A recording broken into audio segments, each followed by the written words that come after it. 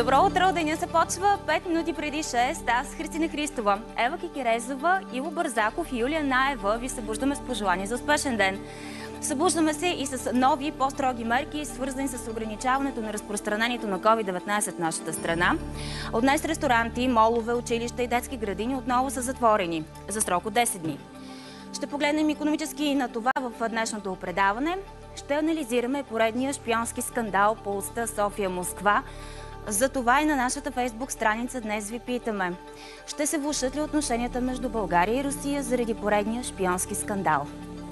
Какво още сме ви подготвили в предаването днес, заедно с редактора Маргарита Иванова, ще ви кажем след малко. А сега с какви новини започва понеделник, ще ни каже Юлия. Добро утро! Добро утро от мен. Няма как, Хриси. Ние ще започнем с по-строгите мерки, които вече влязоха в сила от полунощ и остават сила до края на месеца. Ще обясним и ще припомним на нашите зрители в детайли къде могат да ходят и къде не.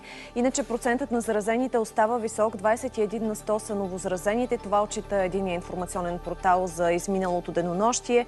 Ще погледнем и как се справят с пандемията по света и не на последно място. В Брюксел днес ще се съберат външните министри на Европейския съюз, като се очаква основна тема на разговорите да бъдат Русия и Турция. Сега да погледнем и към времето днес, защото наистина това е другата тема, която ще следим както в предаването, така и в новините, осложнената пътна обстановка на места. Ева ще продължи ли да вали сняг днес? Да, и то на доста места. Осложнена е ам, обстановката и днес през целия ден ще има сериозно количество на валежи и от дъжд, и от сняг почти навсякъде. Така че бъдете внимателни и наистина подгответе се за а, дебела снежна покривка. В снежна обстановка играха и вчера определени футболисти в определени матчове. Здравей, Иво! Добро утро на нашите зрители! Ами да, в България беше снежно, в Испания, например, беше доста добро времето, за да може Меси да постигне нов рекорд в историята на Барселона, пореден рекорд в неговата кариера. Да, ще споговорим малко за националния отбор, тъй като предстои тази седмица, в която националните гарнитури ще изиграят своите мачове от световните квалификации. Но има много интересни мача от вчерашния ден, които така ще погледнем. Разбира се, акцент в спортите новини ще бъде и това, което направи борбата, тъй като спечели още олимпийски квоти. И още нещо да отбележа, което очакваме и в предаването, а и в новините по света и у нас. За съжаление има изчезнал човек в Рила планина. Продължава издирването му. Всички новини свързани с това след малко. И още един сюжет от вчера. Знаете, след екшен разиграл се рано сутринта в Казанлък с гонката между полицай и другиран шофьор. Имаше след това развитие по случая, след като беше задържан този мъж. Полицаите бяха упражнили върху него и насилие. Та днес ще проследим дали има отново протест, такъв какъвто имаше вчера, в подкрепа на полицаите, които са отстранени от длъжност, поне докато трябва разследването. Всичко това и още важното, научете го от нас. Първи сме. Новините следват сега с Юлия Наева.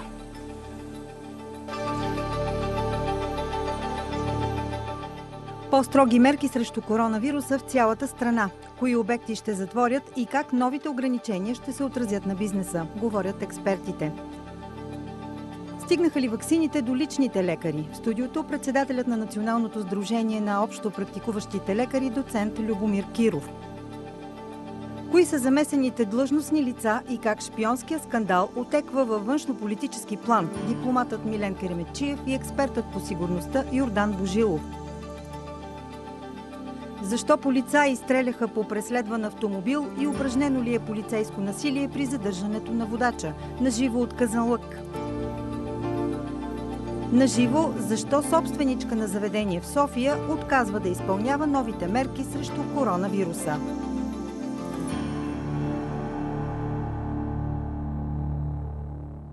Ева ще се възползвам от това, което каза преди малко и предупреждението за хората, които все пак ще изберат планината в следващите дни. за да дам и повече информация с новината, с която и започнахме днешното предаване. 34 годишен скиор е изчезнал в Рио, докато с група приятели карал ски в района на квартала над Благоевград. В момента се провежда спасителна акция по издирването му. Мъжът е от София, движил се е последен, карал е по пистите, но и извън тях, пренебрегвайки предупрежденията за висока лавинна опасност. Група младежи са карали извън пистата на ски зоната, а, както вече ви казах, този, който е изчезнал, се е движил последен. Загубили се скиор не е бил добре екипиран за извън пистово каране, според планинските, планинските спасители. Операцията продължава, а условията в планината са изключително тежки заради снеговалежа и високата лавинна опасност. Очаквайте подробности за тази спасителна операция малко по-късно в предаването. И още нещо, което ще бъде акцент в днешното издание на Деня започва, както вече ви казах, е един анализ, който ще направим на влушените напоследък отношения, що се отнася и заради шпионските скандали, основно всъщност между София и Москва. Затова е на нашата фейсбук страница. Днес ви питаме, ще се влушат ли отношенията между България и Русия заради поредния шпионски скандал? Може вече да гласувате, да задавате вашите въпроси, да давате своето мнение по тази тема. Знаете, в последните години станахме свидетели на не един или два шпионски скандал. Подобен обаче отдавна не е имал. На какво се дължи то, от тук нататък какво следва, от кога е била следена тази група и всичко по делото, което и вчера заседание имаше, малко по-късно в предаването. И още нещо, което разбира се днес ще следим в развитие е пандемията от COVID у нас. За съжаление продължава негативният темп на разпространението на COVID-19 в страната. А, преди малко чухте и актуалните данни. А сега вижте обобщението от вчера. До кога и как ще издържи здравната ни система? Тази сграда в Александровска болница е отделена само за COVID пациенти. Три от петте етажа са пълни, разказва доктор Димитров, който работи в едно от COVID отделенията от началото на годината.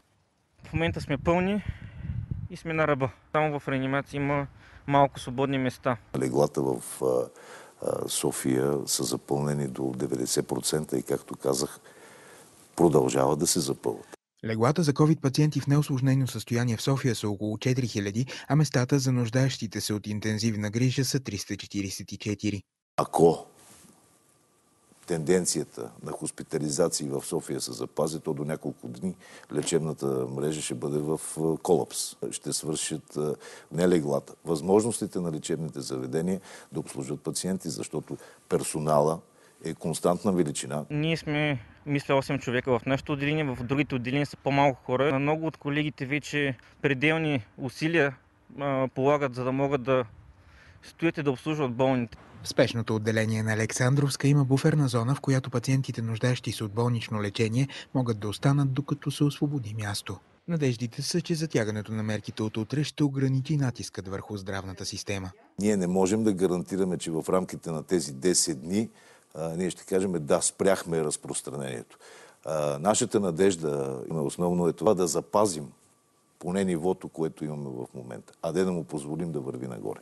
По план в Александровска болница през следващата седмица и другите два етажа на тази сграда трябва да са в готовност да приемат COVID пациенти.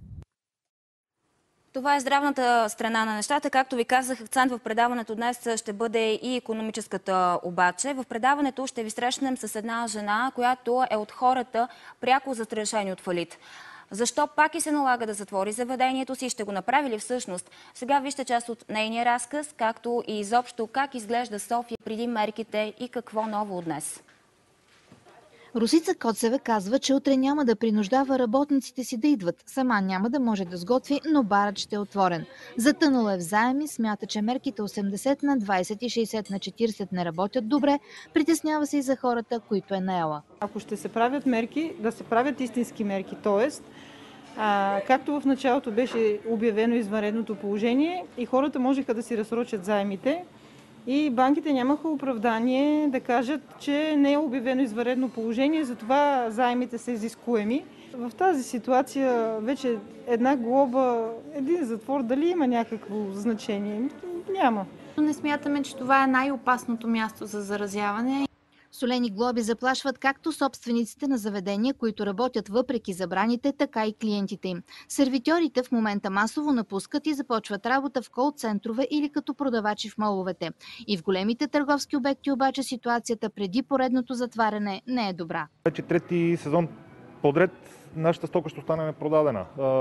При първото затваряне успяхме да продадем към 60% от доставената стока, втория локдаун вече успяхме да продадем 40% от зимната.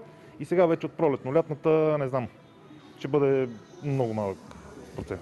По мярката 60 на 40 успяват да кандидатстват много малко от служителите, казва още Николов. По запазиме, пък хората получават парите си с месец и половина закъснение. Така че и тук очакват преориентация на персонала. Според Венцислав Николов, ръст на продажбите в събота и неделя преди затварянето няма. Два дена или пет дена да работиме по-силно, това не помага изобщо, когато сме затворени два месеца. Може би трябва да се вземе решение да се затвори веднъж качествено. Затваря се, вероятно ще се удължи и това психологически води до доста сериозно притеснение в хората. Николов казва още, че моловете не са развъдник на вируса, защото са вложени много пари в филтри, вентилационни системи и УВ-лампи. Има и контрол на входа. В магазин не се пуска повече от един човек на 20 квадратни метра. Казва и, че големите магазини извън моловете ще хитруват. Ще заградят само 300 квадрата за клиентите си и ако хората преди са били на широко, сега ще се ограничат в тази площ. И поглед към Пловдив, където, знаете, Капана е обичайното притегателно място не само за пловдивчани, но и за гости от цялата страна. Артистичният квартал обаче вчера не беше толкова оживен, а за това допринесе и лошото време. Обстановката беше далеч от обичайната за мястото с шум, разговори и музика. Вижте как протекоха и последните работни часове на заведенията там. Пълни заведения. Дезинфекция имаше, но не и дистанция. В квартал Капана местата на открито бяха заети с празнуващи компании. Ние се съобразяваме с обстановката и така. Ако може да се излиза, излизаме. Ако не може, не излизаме. И докато клиентите се забавляваха, собствениците на заведения бяха настроени минорно. Реално помощта от предния локдаун се, се впрегна изцяло в, в този рестарт. И сега това поредно затваряне ще е пагубно за много хора. За щастие все още има ентусиасти, които обичат тази професия. Любители на театралното изкуство дойдоха в Дома на културата за националната премиера на представлението Отчаяни съпрузи. За последно тази вечер ще разтоварим. Обичаме изкуството. С търпение чакаме първото представление от доста време, може би повече от година. Билетите едва ги взехме, знаем, че ще прекараме много хубаво. Представлението започна с много настроение пред една трета запълнена зала и щастливи зрители, макар и с маски на лицата. За мен всичко приключи.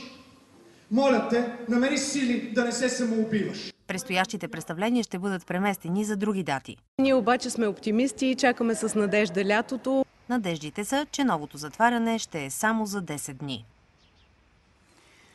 Все повече се говори за това как новите варианти на вируса се отразяват на детския организъм и как децата разпространяват COVID-19. Нещо, за което сме говорили в нашето предаване. Вижте обаче една друга гледна точка за това как онлайн обучението и дългата социална дистанция се отразява на децата и на тяхната психика. Това са Ема и Хриси. И двете са ученички в 6-ти клас. До миналата година те се виждат всеки ден, но пандемията изцяло преобръща ежедневието им. Аз ходя и на извънкласни дейности, и на училище, и след това имам домашни. Като цяло почти през цялото време стоя пред компютъра и не се виждам с никакви хора. От кога не сте се виждали? Ами, да, от преди училище, от много време. Да, от лятото може би, не знам. Тази учебна година Ема и Хриси са изчислили точно колко време са прекарали в клас – месец и половина.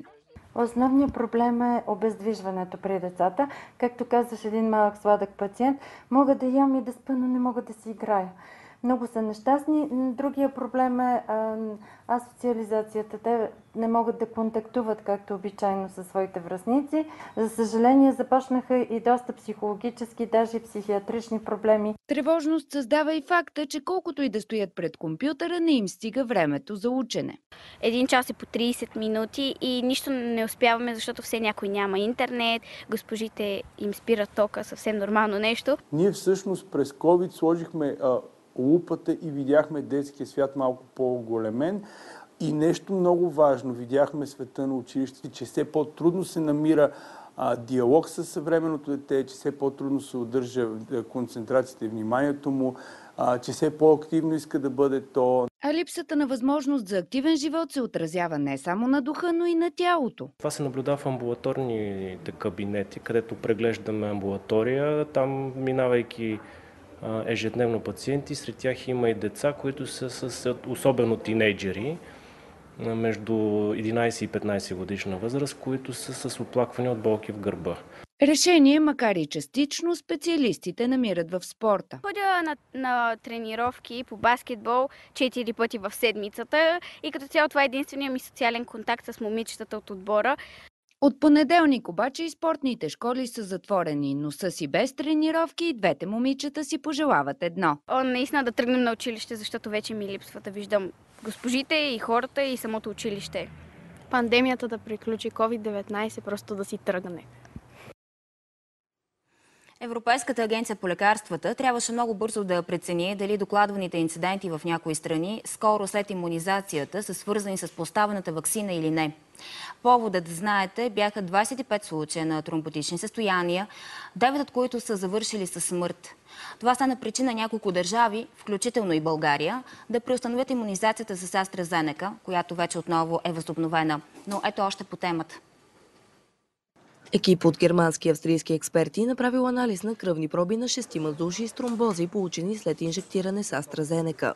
Изводът. При някои пациенти вакцината предизвиква прекомерно силен имунен отговор, при който тялото започва да произвежда тромбоцити. Тази естествена защитна реакция, която се активира при кръвотечение, е и причината за образуването на съсиреци. В случая на вакцинираните обаче, те са били в мозъка и са попречили на оттичането на кръвта. Повече от 30 години изследваме как понякога антителата оказват негативно влияние.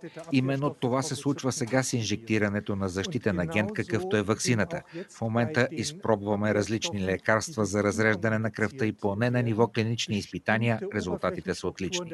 Според учените, въпреки страничните ефекти, вакцината не бива да бъде отхвърлена от пациентите, тъй като вече е известна конкретната причина те да имат реакция. И има яснота каква терапия е необходима при потенциален риск от тромбоза.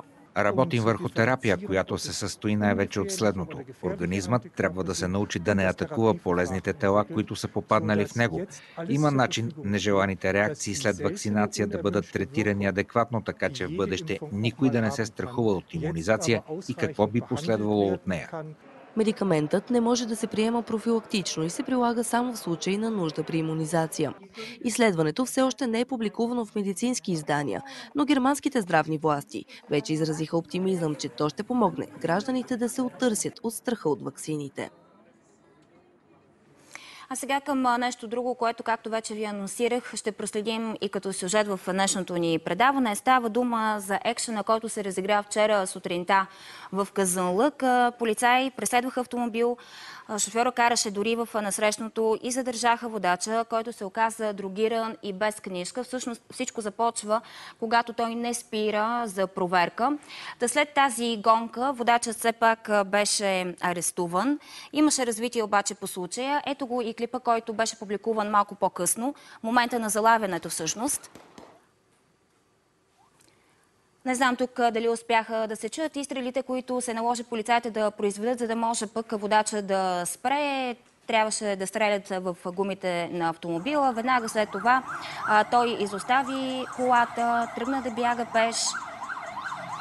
Ето, пускаме отново.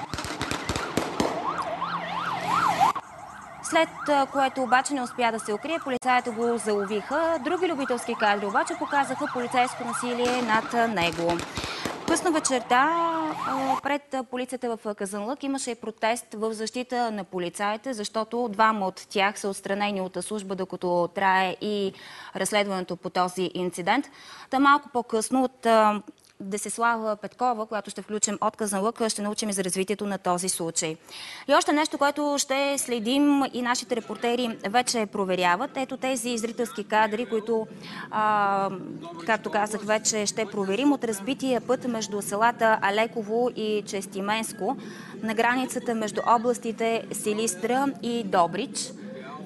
Изключителен лунен пейзаж. колкото от Силистра до Алфатар за 25 минути. Има.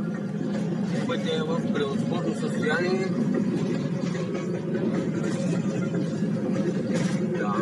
Оставих ви да чуете и коментара на човека, който изпрати този клип, за да разберете наистина за какво става въпрос. Хората недоволстват, кога и как ще бъде ремонтиран пътя.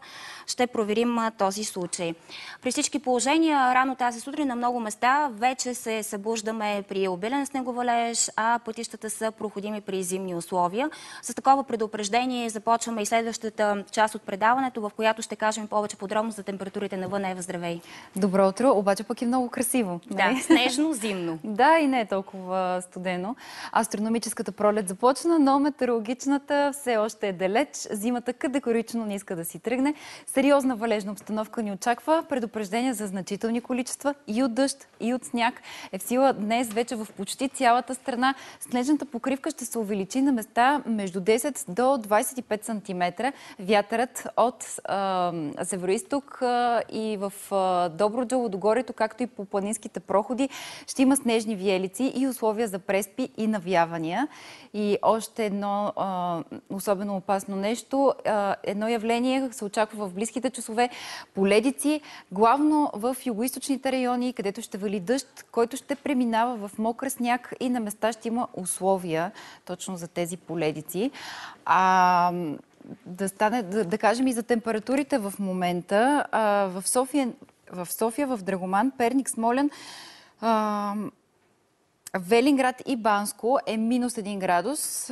Това е най-студеното в момента. А, а най-топло е в Ахтопо около 7 градуса. Това са актуални а, данни от момента. А пък, а, ако искаш да кажем и за а, снега. Ами да, добре да кажем и за снежната покривка, защото в София няма много, обаче да кажем наистина това, което съобщи като температури в Перник е доста по- повече снежната покривка. Така, По-дебела. В София 14 см. Най-много е валял във Враца около 20 см, а в а, литри може да кажем, че валежът във Враца е, а, както казахме, най-много е 42 литра на квадратен метър. И Малко- ще продължи. Малко по-късно в предаването, в пряко включване от София Цветкова, ще разберем и дали са почистени всички основни пътища, разбира се и магистрали, в пряко включване от магистрала Струма. Това, което мога да кажа от опит сутринта е, че да, почистено е това трасе. Това обаче не означава, че не трябва да бъдем внимателни, разбира се. Разбира се, все пак трябва да бъдем подготвени за зимни условия. Веригите не трябва да излизат. Особено в планините, точно разбира така. се, да. Между другото, в този ред на мисли, когато сме закъсали, аз съм се спасявала с детски дрежки или въобще нещо, каквото имаш в колата, знаеш, слагаш под гумите. Ако се за наложи, да да, зацепят, да, да, така че, нали, и това е един съвет към нашите зрители. А, така, както вече казахме, минималните температури ще са между 0 и 7 градуса, а максималните ще са само с около градус 2 по-високи. В а, югоизточните райони, където ще вали дъжд, е възможно слабо и да прегърми и там очакваме до около 8 градуса. А каква е причината за тези а, условия? Средиземноморски циклон, който преминава през Балканите и чийто център се намира в момента в района на Гърция а, с пренос на по-студен въздух от северо-исток. Вчера и онзи ден център беше в а, Средиземноморието. Затова казваме, че днес е в Гърция. Предупреждение за опасно време с проливни валежи от дъжд, а, обилни снеговалежи, силен вятър, снежни виелици и преспи е в сила не само у нас, но и на много места в останалата част от а, Балканите. И нещо почти традиционно вече сахарски прах. в облачността, по която в м, следващите часове ще, ще вали, се пренася прах от Сахара и е напълно възможно валежите в страната да са отцветени. Аз все още не съм го усетила по моята кола, но пък... Все още не, да. все още. Има Така. време през деня да видим дали това ще се случи. Да. И към въпроса, който вълнува всички, до кога ще вали. Утре и в сряда ще продължи да вали, но вече много по-слабо и на по-малко места. В четвъртък облачността ще намалее, при което сутрешните температури рязко ще се понижат, но през деня ще започне постепенно затопляне, което ще продължи и в петък, когато ще има и повече слънчеви часове. Тоест в петък вече може да очакваме малко да напомни, че вече сме пролет. Еми, да, ама малко. да. При такава пролет зима не ни трябва, ще се казва в такава ситуация. Чакай, Добре. кажи си истината. Сутринта не ти ли беше едно такова много свежо. Аз като чистих колата, даже си подпявах някакви песни. Ами, половин час след като се наложи да чистя пред вкъщи и след като дойдох в пет и половина в телевизията, много свежа ми беше, в много добро настроение. Да, малко да. се притеснихме за теб. Да. Добре, във връзка с снега, понеже си говорихме за Врачанска област, ето това е входа на пещерата Леденика. Снимките са от Стела Валева. А, може да видим и а, другите снимки, те са няколко, точно така. А, хубаво е, красиво е и в действителност трябва да се порадваме. Ето, погледни. Само да Доста е. припомня, че точно в пещерата Леденика бяха блокирани служители а, там а, от а, туристическата дестинация, които развеждат туристите, имам предвид. Миналата седмица беше този сюжет. Останаха там известно време, докато бъдат освободени и виждаме защо. Продължава очевидно там да трупа Да, сняг. И ще продължи да вали. Така, да, да видим и следващото нещо, което съм ви подготвила. Отново една много красива снимка от Витоша. Паракли свето преображение, Господне което е така, виж как сгушено в гората. Тази снимка я имаме благодарение на Александър Игнатов. Ами красиво е, да. Особено когато не бързаш и е малко безвреме около теб е много И самия паракли са много красив. Типично Да. в, зим, в зимен стил е направен. Аз до сега не бях виждала така, такъв с дървен нобков. Добре, да продължим нататък. Да видим следващото нещо, което си ни подготвила. Отново зимна картина. Ами на такава вълна сме. на такава вълна сме. Това е видео от Боровец и го дължим на Даниел Пилиов. Ако така правилно изчетем а, името. А, все пак е хубаво. Аз специално много обичам да гарам ски в подобни метеорологични условия. Да, особено сега, когато и няма чак такъв наплив, предполагам, в планината. Сигурно е приятно, но отново да припомним, че има предупреждение за лавинна опасност и отново да припомня, че за съжаление един скиор а, продължава да бъде Точно така. издирван а, в Рила планина. По-късно с информация ще се включим от там. За съжаление, той се движил в група на последен и не се знае къде е в момента. Много е важно. Аз не знам, изпуснахме. Колеги, няма ли да видим едни снимки? Бяхме приготвили едни снимки на едно небе. Дали ще можем тях да ги видим? Много исках да покажа. М? Няма ами, да не може? знам. Не знам дали ще можем, защото те вече са ни подготвили един друг сюжет, който много ни забавляваше вчера. Добре, то Така, аз тези снимки, тези снимки сте ни ги изпратили специално. Те са от онзи ден, а, за да се види всъщност какво се случва над облаците, които се стелят над нашата страна. Всъщност ето това е. Това си е над а, България. Много е красиво и много хубаво. Сега да се върнем, ако обичате, към а, онова клипче, което така исках да бъде една прелюдия. Е, то си е прелюдия към коледа, ако трябва да бъдем Не, не, не, честни, да. но както и да е. Добре. Това е в Русия. Да. Там нали, см- знаем, че може всичко да се случи, на всичко може да стане свидетели. Погледни, моля ти се, за какво става въпрос.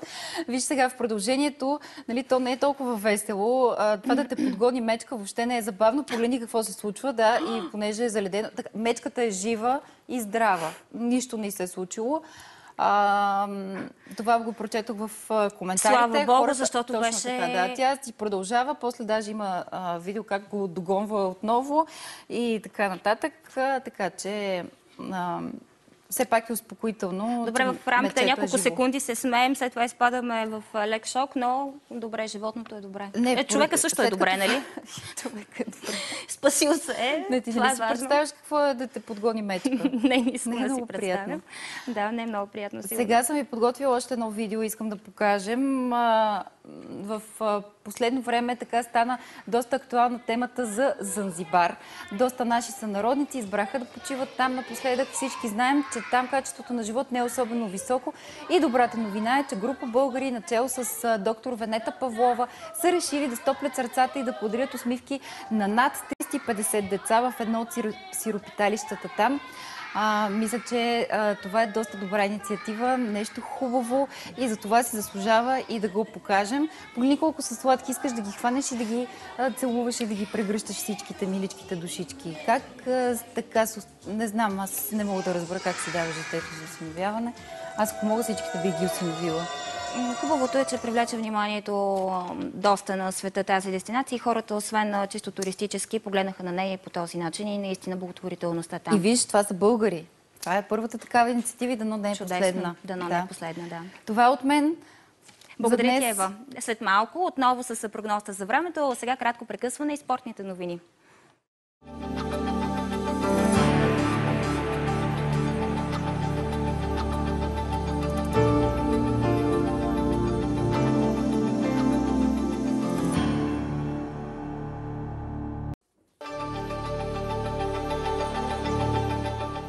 По-строги мерки срещу коронавируса в цялата страна. Кои обекти ще затворят и как новите ограничения ще се отразят на бизнеса, говорят експертите.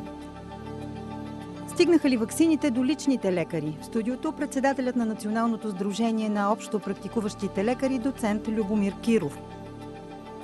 Кои са замесените длъжностни лица и как шпионския скандал отеква във външно-политически план? Дипломатът Милен Кереметчиев и експертът по сигурността Йордан Божилов. Защо полицаи стреляха по преследван автомобил и упражнено ли е полицейско насилие при задържането на водача? Наживо от Казанлък.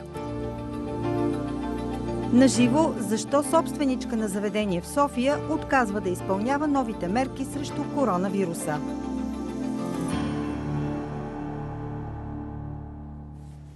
Здравейте отново, уважаеми зрители! Надявам се, че сте в добро настроение. Надявам се, че имате и време да погледнете към нашата фейсбук страница. Днес ви питаме, ще се влушат ли отношенията между България и Русия. Повод за това е поредния шпионски скандал, който ще коментираме и днес в предаването. А, вече има и първите коментари. Нека да видим първо гласуването в този около половин час, откакто а, публикувахме анкетата. Ами, доста равнопоставено, може да кажа, да, в момента съмненията. Ето ги и коментарите. На Поля Тичева, например, не съм компетентна по темата разузнаване, но си задавам въпроси. Как така след месеци следене на шпионите, точно последните две седмици преди изборите ги а, разкриха. Американските шпиони, които свободно дори нареждат как да се постъпва с Русия, не се гонят от страната и така нататък. Да, много въпроси повдигна това, защото, както беше съобщено от прокуратурата, година и половина са били следени тази Точно група. Така. Едва сега беше беше разкрита. Иво Симеонов смята, че добрите отношения с когото и да се, с когото и да е, се изграждат на взаимно уважение. Не може да те шпионират, а ти да си траеш, за да не ти се развалят отношенията. Подобно е мнението и на Георги Георгиев, имам пред като първото, което прочетохме. Нали не си мислите, че и не мога да видя вече самото самия коментар, да, защото колегите го... не го дръпнаха нагоре. Добре. Така или иначе, после това ще погледнем към тези мнения. Продължавайте да коментирате и да задавате вашите въпроси, а пък в студиото ще анализираме всички гледни точки. Надявам се по този Гореща казус. тема, така е. Но аз предполагам, защото ти призова зрителите да погледнат към фейсбук страницата. Първо, преди да погледнат към прозорците, защото аз предполагам, че хората ставайки от сън и виждайки каква е обстановката навън, ще ни изпращат и такива сигнали. Да. Какво се случва, така че да ги призовем, ако наистина имат а, снимки и видеоклипове, които показват а, дали пътя около тях е затворен, почистен, могат да сигнализират и до нас, разбира се. Да, нека да повлека край, както се казва. Да. Това нещо, което снимах аз сутринта, идвайки за работа. Пътя Перник-София. Сами може да прецените дали беше почистен или достатъчно почистен по-скоро, или от първите пътите, които преминавахме по трасето, по-скоро правихме такъв път.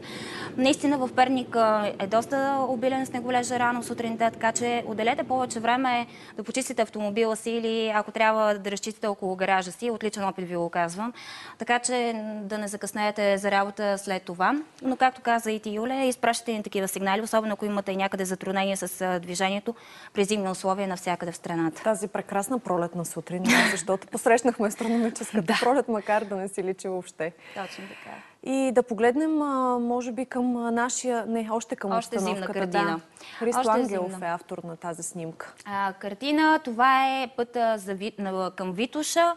А, нещо, което и миналата седмица сигнализирахме, че в момента там, особено около хижата, не се почиства изключително много. В случая виждаме, че все пак е проходимо, но имате предвид това. А, в крайна сметка, при зимни условия е възможно и да попаднете в ситуация, в която да трябва да изчакате известно време, за да бъде изчистен пътя. Така че... И да не се подценяват условията. Сега случай. има издирване на скиора, който изчезна вече повече от 14 часа продължава неговото издирване. В Рила. Но, в Рила точно така, но малко по-късно от нашите колеги ще разберем повече. Да. Иначе много красива зимна картинка, няма какво да си кажем. А, малко позакъсняла зима, защото докато То трябваше... нямаше такъв сняг. Точно така. Докато трябваше да се радваме на подобна картина, си беше чисто пролет навън, сега не е съвсем така. Добре, нека да продължим и с а, още сюжети. Нещо, което може да видите на нашия сайт. Денят преди затварянето. Празни улици, на пълни заведения на Деси Кулилиева. Да, нашият фоторепортер на Българската национална телевизия имам предвид успя да улови каква е ситуацията в столицата. Буквално часове преди строгите ограничителни мерки да влязат в сила. И това, което тя е уловила, а и става ясно от снимките, които вече може да видите, Малко по-надолу на нашия сайт BNT News се виждат пълни заведения, но пък сравнително празни улици, най-вероятно заради това, че беше лошо времето вчера и това накара повечето хора да потърсят топлината в кафенетата и ресторантите наоколо. Но... Още повече, че много от хората не вярват, че това затваряне ще е едва за 10 За- дни. Да, като и за си мислиха, че беше. наистина за доста дълъг период от време трябва да се видим с близки и приятели. И наистина, въпреки че ако беше по-хубаво времето, наистина може би повече хора ще да се, но виждаме, че и сега Определено, нормално. да. Но това, което Деси Колелиева споделя и е направило впечатление, че се спазва дистанция, макар заведенията да са пълни, все пак са се спазвали някои от мерките. Имало и проверки и за Да. носене на маска, и за разстоянията в заведенията, напълно нормално. Та така един софийски сюжет може да разгледате на нашия сайт. Фоторепортажа на Деси Колелиева. А сега към нещо, което малко по-късно в предаването също ще проследим като сюжет, като продължение от вчера. Става дума за ареста на нарушителя, шофьор в Казанлък. А, Николай Коларов публикува ето този клип. Той беше препубликуван много, Много, много пъти много в а, пъти, да. мрежата. Това е момента на залавянето на шофьора, а, който само да припомня, не беше спрял на полицейски сигнал. А, започва гонка из улиците на Казанлък, изключително рискована в града. Той отива и се насочва към околовръстното, където пък навлиза в насрещното. Доста дълго. дрогиран, Точно така. осъждан и преди това има криминално досие. Ето тук вече виждаме кадрите. Предупреждаваме нашите зрители, че са кадри наистина с насилие, а, в който момент а, полицаите буквално си изпускат нервите, може да кажем. По-късно обяснението от полицията беше, че не веднъж техният живот на полицаите е бил застрашен. И може би наистина е, стигат една точка на кипене, в която се изпускат нервите. Това в никакъв случай не може да бъде оправдание обаче за полицейско насилие. В никакъв случай. Абсолютно при арестуван а, човек с белезници виждаме. Друг е начинът да бъде той наказан, а именно наистина, когато получи своето правосъдие. Въобще, в двете крайности бяха мненията. Подкрепа е. на полицаите и срещу А в полицаите. подкрепа на полицаите, ако не се лъжа и тази сутрин по-късно се очаква да се съберат хора, но нашите кореспонденти ще ни информират, разбира се, и за това. Имаше Дали- и заявки за контрапротест, Да, ако може да, така да го видим. наречем. Но следим тази ситуация. Ще се съберат ли такива хора? При всички положения апелираме за спазване на законността в двете гледни точки. Този човек, пак казваме, другиран без книжка, а, се застрашава живота на, на околните. много хора. На много хора, наистина. Въобще тук правосъдието, ако не е закъсняло, то на време наистина трябва сега да бъде постигнато. И още нещо, което а, е по наш, т.е. към нас, зрителски... От а, Ловеча добре. това е всъщност. Дупките в Ловеч, добре. Да, Ще Даниел покажем сега. Боянов е автор на този сигнал. А, не, че нещо, но ако не се направи нещо по въпроса, по-добре е така. Няма да описваме всичко, както той го е казал човека, но то става ясно така или иначе при какви условия трябва да живеят хората в Ловеч, в определен квартал. За съжаление, от публикацията не става ясно кой точно е района, но жителите там много добре се го познават явно. А, и доколкото виждаме и става ясно всъщност от коментарите и от сигнала на човека е, че очевидно това не е проблем от днес или вчера. От Правен доста време е трябвало. Правен е ремонт, но пак ремонт на ремонта, нали знаеш? Да, Хриси, правен така ремонт, може Показваме на- неведнъж. м, как кажа, на водопреносната мрежа, защото сме виждали подобни. Имаше един от коментарите по европейски проект. Ето вижте как е изрязано пътното платно. Възможно да е нещо такова, но при всички Може да е положения... започнато, да е спряно заради Да. лошото време. Само може да неприятно за хората предполагаме. там, при всички неприятно, факт. положения. Да.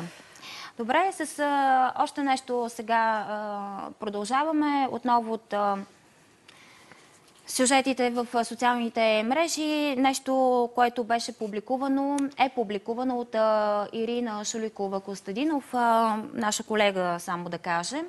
Доста дълъг пост. Но да резюмираме, става въпрос, тя се прибира в Варна, след дълъг престой в Париж, паркира пред блока си и на следващия ден вижда една бележка, ако се може с колегите да я покажем. Паркирала сте чудесно в кавички, поздравления и в скоби следващият път чистачки няма да има. Това послание е получила върху автомобила си. За съжаление от снимката не става ясно къде точно е паркирала, но в е коментарите, е да, надолу става ясно, че е паркирала а, до градинка, а не в самата градинка, както другите шофьори. Така а, колата е заела всъщност повече място. Та очевидно това е подразнило анонимния човек, който е написал тази бележка. Но ние много често виждаме как хората обичат да се саморазправят, така да кажем, оставяйки подобни послания, което е много тъжно, защото следващия път може и да ги няма тези чистачки или Абсурдно гумите да е са просто. спукани. Да, което наистина е някой абсурдно. паркирал, ако смяташ, че е в нарушение, че не е правилно и така нататък, просто сигнализираш на компетентните органи да съставят а, на, на нарушителя съответно глоба, не се саморазправяш. Абсолютно. А още повече, представете си, ако тези чистачки наистина ги нямаше днес, при тази снежна и обилна обилните снеговалежи и обстановката, която ни посрещна в страната, какво ще се причини на един шофьор, който се налага да тръгне по спешност някъде, например? Невъзможно е с автомобила. Това е повече от ясно, наистина. А, така че а, показваме този сюжет най-малкото с призива да не се саморазправяме. Разбира се, да внимаваме къде и как паркираме. Но и в крайна сметка подобни сюжети не бива повече да, да се разиграват. И един зрителски сигнал отново от нашия сайт. Диана Тоцева ни е писала и ни е спратила снимки от пространството пред Националната спортна академия в студентски град в София. Между улиците Академик Стефан Младенов и професорът Анас Иширков. По думите на жената многократно са подавали сигнали за изсечени големи дървета в двора и по алеите на НСА. В отговори се посочва, че това са били дървета случайно изникнали на асфалта, които пречели на използването на текущия паркинг там. А видно от приложените снимки, които вече виждате, става въпрос за дървета по алеите и тревните площи, последващо заравняване и изграждане на голям платен паркинг, допълва още зрителя, който ни е сигнализирал. И заобщо за това, което се случва в градската среда, включително и през застрояването, ще говорим и малко по-късно в предаването. Повод е и денят на геодезиста. Нещо, което като граждани на големите наистина градове, да не говорим за столицата, виждаме всеки ден и подобни сюжети. Кога трябва нещо такова да се разчисти, защо се разчиства, къде се строи, какво се строи, ще имаме и такъв разговор малко по-късно в предаването. И още нещо. От Еманил Георгиев полезът на Ситняково до Румънското посолство. Това нещо си е там от месеци, пише той. По негов сигнал ви го и показваме. Сами може да прецените за какво става дума. Някога може би е било някакъв магазин, нещо такова поне изглежда, което вече не работи и се е превърнало в а, мини сметище в а, подлеза. Може да си представите, ако ви се налага там да минавате. На мен, между другото, скоро ми се наложи да мина, наистина не е приятно. Най-малкото това, което може да кажем, в центъра на София. А, Но то да е само там. Не, за съжаление. Разбира се, някой го е направил, но и някой трябва да го почисти с призив, може би, към общината в този един момент, за да може все пак мястото да може да бъде използвано по предназначение като подлез. Благодаря ти, Юля, за това обобщение, което направихме на сюжетите от социалните мрежи. Ще обърна внимание сега на още нещо. Днес е Световния ден на водата. По този повод ви предлагам разходка в първия музей на водата в България, който се намира в Русе. В него се съхраняват над 100 експоната, които проследяват пътя на водата от а, кратунките до модерните помпени съоръжения. Музеят е разположен на територията на действащата помпена станция Цветница и това не е случайно. Тук през 1925 година за първ път е монтирана вертикална помпа, с което всъщност се поставя началото на модерното водоснабдяване на града. Има две експозиции, открита и закрита. Някои от експонатите са на повече от век. Сред най-старите запазени съоръжения е тази огромна сонда. Това е стара сонда за прокопаване вертикални кладенци, които на много места са основното водоснабдяване. И тя е поне преди 50 години, да не е и 70-80. Вече сондите са коренно различни, модерни, те се пробиват на огромни дълбочини, но това е старо и си го пазим като експонат. В музея може да се види как хората са си доставили вода в домовете в продължение на два века.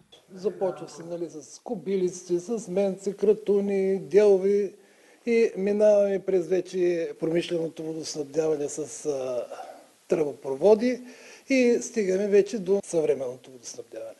Днешното водоснабдяване вече набляга се на пластмасите най-вече. За, говорим за тръбите, на съвременни покрития на резерварите. В музейни експонати са се превърнали и някои съоръжения, използвани доскоро в бита. Това са камениновите тръби за канализацията, които бяха в блоковите на времето, казанчета чугунини, кранове, които и до днес може някъде да се видят по-старелите сгради. Входът за музея на водата обаче не е свободен и за посещенията има определен ред. Тъй като зоната е охраняема, е хубаво, ако има посетители, да дойдат с предварителна заявка. Действащите помпени съоръжения се намират на 30 метра под земята и с тях се стига с асансьор.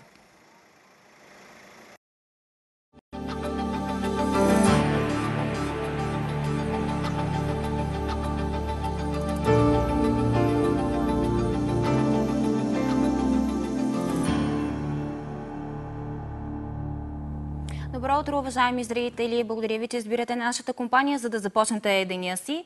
Да погледнем и към отговорите, които давате на нашата анкета в фейсбук страницата ни Деня започва.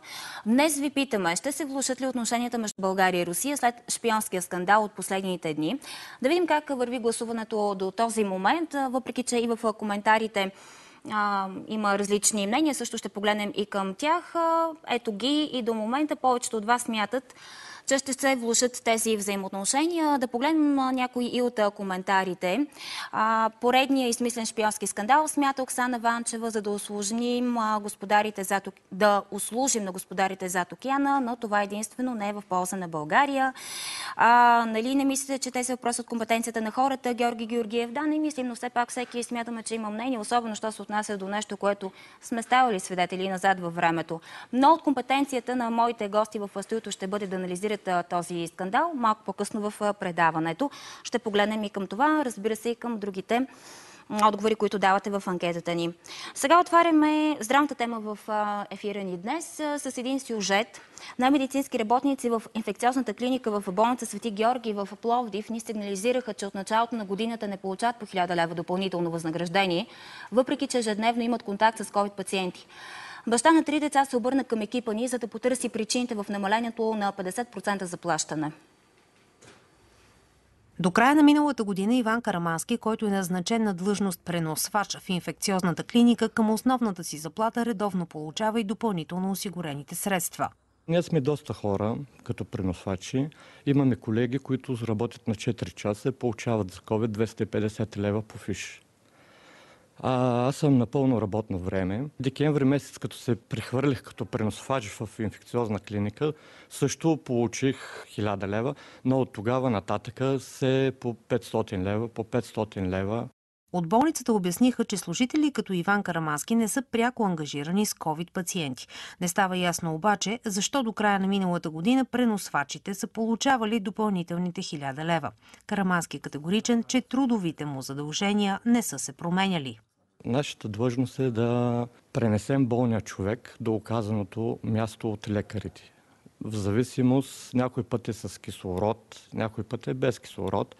Повечето от пациентите са неподвижни, но много са от тях с положителна проба на COVID. Нямаме асансьори по стълбите, което е много, много трудно. От НЗОК обясниха, че касата изплаща сумите, които са подадени от всяка една болница според утвърдена в началото на тази година методика. По регламент право на 1000 лева има медицински и немедицински персонал, пряко заед с дейности по наблюдение, диагностика и лечение на пациенти с доказан коронавирус, без да се упоменават конкретните длъжности, на които са назначени служителите.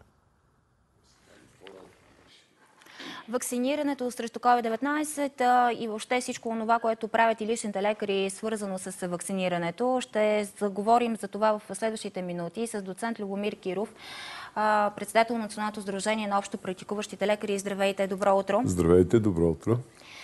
В началото на процеса по вакциниране срещу COVID-19 личните лекари не са искали да поставят РНК вакцини. Вярно ли е това? Не. А, в самото начало се обсъждаше кои вакцини, какви, още нямаше достатъчно информация за тях, къде ще се складират, как ще се складират, нямаше фризери дори. Не, че сега има във всяка една област, доколкото ми е известно. И тогава се обсъждаше, аз съм участвал в такива разговори, че вероятно при нас, според това, което се знае, най-приложима, най-лесна за прилагане ще бъде вакцината на астразеника. Това беше тогава. А, с времето, после излезнаха достатъчно данни, видя се, че и РНК вакцините могат да се складират няколко дена в обикновен хладилник, след като бъдат извадени и в рамките на 5 до 6 часа, като се отвори флакончето, да бъдат приложени. Тоест, може и ние да ги правим, а и ние вече сме разработили нашата си част от логистиката. А получавате ли такива вакцини?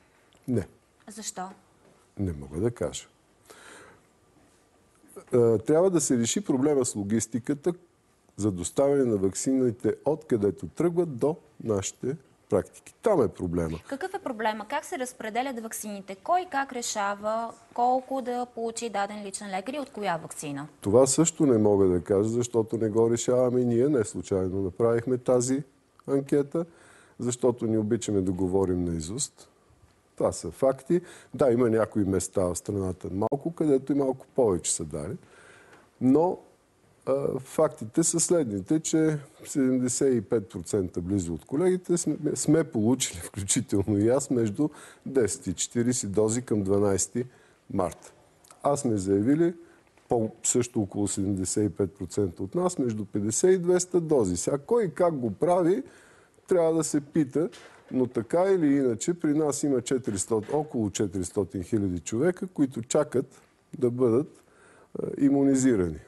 Доцент Кирил, как ще коментирате тезата или така да кажем прокараното мнение, че всъщност държавата с отварянето на зелените коридори се опита малко да изземе от функциите на личните лекари, които в началото са предявявали, аз ще ги нарека претенции. Било то за заплащане, било то за това, че нямат условията да вакцинират. Имаше Нека такива колеги да ваши, изясним и тези въпроси. Да. Между другото, ние винаги като съсловие организация безкрайно етично сме подхождали, няма да видите в наши изявления приказки, тези са такива, онези са, онези са такива. Но е важно да отговорите на този въпрос. И за това първо ще започна с това, че професор Богов си позволи съвсем скоро, тези дни, да каже, че ние сме абдикирали от вакцинацията.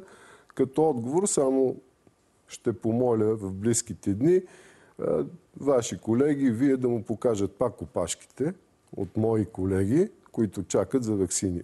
Ако това е абдикация, можем да продължим дебата публично някъде, за да си изясним отношенията. Така, ние се подготвихме твърде бързо, искахме и го направихме съвместно с Националната здравна информационна система, софтуерните нашите фирми, с наши представители. Се подготви и софтуер, всичко се тества, направи и сега, когато ние вакцинираме пациент, информираното съгласие се разпечатва бързо лесно. Информацията на секундата заминава в Националната здравна информационна система, а не се вкарва на ръка по нощите. Пациентите чакат в удобна и комфортна среда, т.е. подготвили сме нещата, за да бъде ефективно и удобно. Искахме и аз благодаря публично на колегите от експертните дружества по специалности да направят, да дадат становища относно ваксините. Кога, как, показания. По-кратички. Защото това беше в началото, когато никой не беше наясно. Естествено да се притесняваме. А сега наясно ли сте? Знаете ли всичко за ваксините? Да, те го направиха и аз благодаря за това. Никой не знае всичко за ваксините, но това е логистична подкрепа и съзнание, което е добре. И ние сме готови. Питам ви за ваксините и знанието за ваксините, защото особено след а, всичко това, което се случи около AstraZeneca, сега повече въпроси ли получавате от вашите пациенти? Има ли наистина лекари, които съветват пациенти да изчакат за вакцинирането? Има въпроси. Е, това, което коментират колегите, хората са различни на различните места. При, в някои е, места има по-голям отлив, в други по-малък. Говорим тези хора, които са се заявили да се вакцинират, примерно с Астра Зенека. Но има хора и те си продължават и то ще се прави. Тази вакцина, то е ясно. Проблеми могат да възникнат винаги. Ето и тази сутрин имаше един репортаж и във вашето предаване. Сякаш се забрави това, че е, сроковете за изпитване на тези вакцини бяха по-кратки. И се поема някакъв риск. Риска трябва да бъде примерен. Но по-добре е да се вакцинираш, отколкото да не го направиш. Въпросът е как се промени сега настроението сред пациентите ви? Има ли Те промяна? първа ще видим специално за нашите пациенти, защото ние, аз лично нямам вакцини, за да се обадя и да кажа ела. В моята практика се обадили от записаните хора, примерно 10 на 15 човека, за да кажат, абе, аз ще изчакам друга вакцина, ако дойде.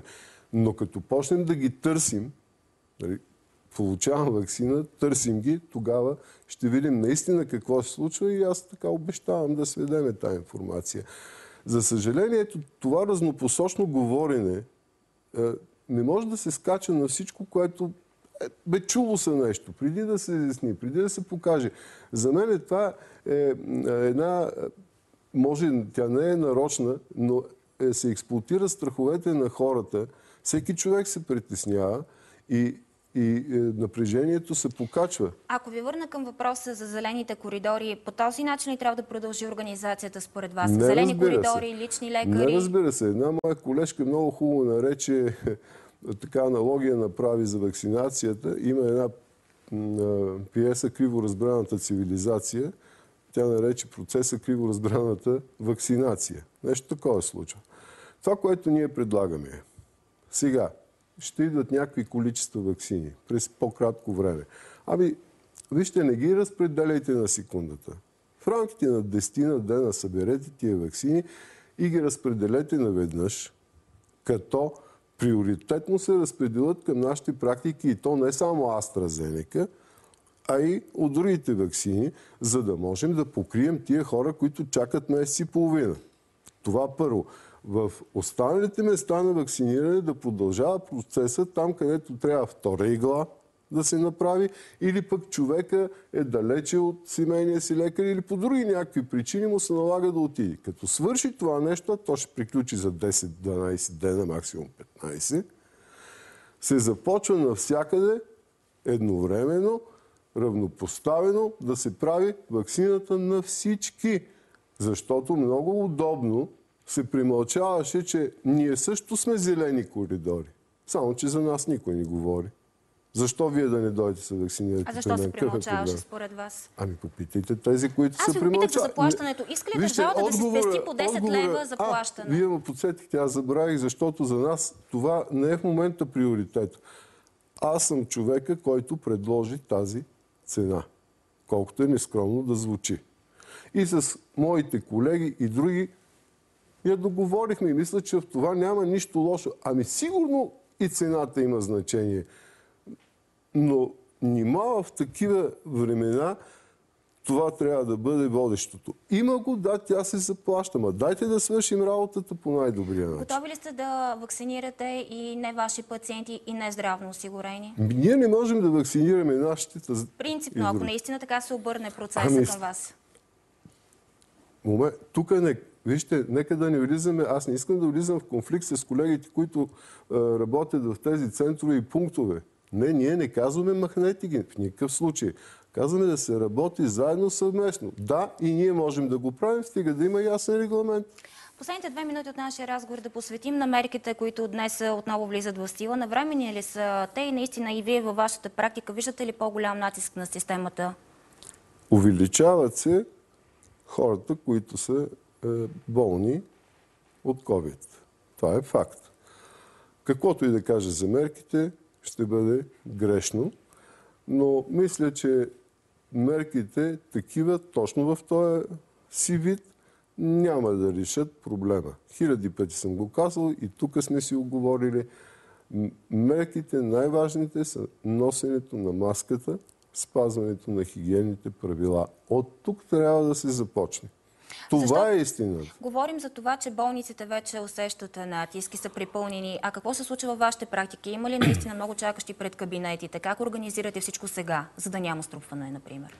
А, има, разбира се, болни, Е, за струпване всеки си чака леда. Те си спазват и дистанция хората и всичко. Няма да ги изгоним. Сега някои хора си мислят, че ние ликуваме само по телефона и слагаме диагнози, което са пълни глупости. Другото, което искам да кажа от собствената практика, че повече хората, които сме изпратили за PCR тест, обикновено е положителен.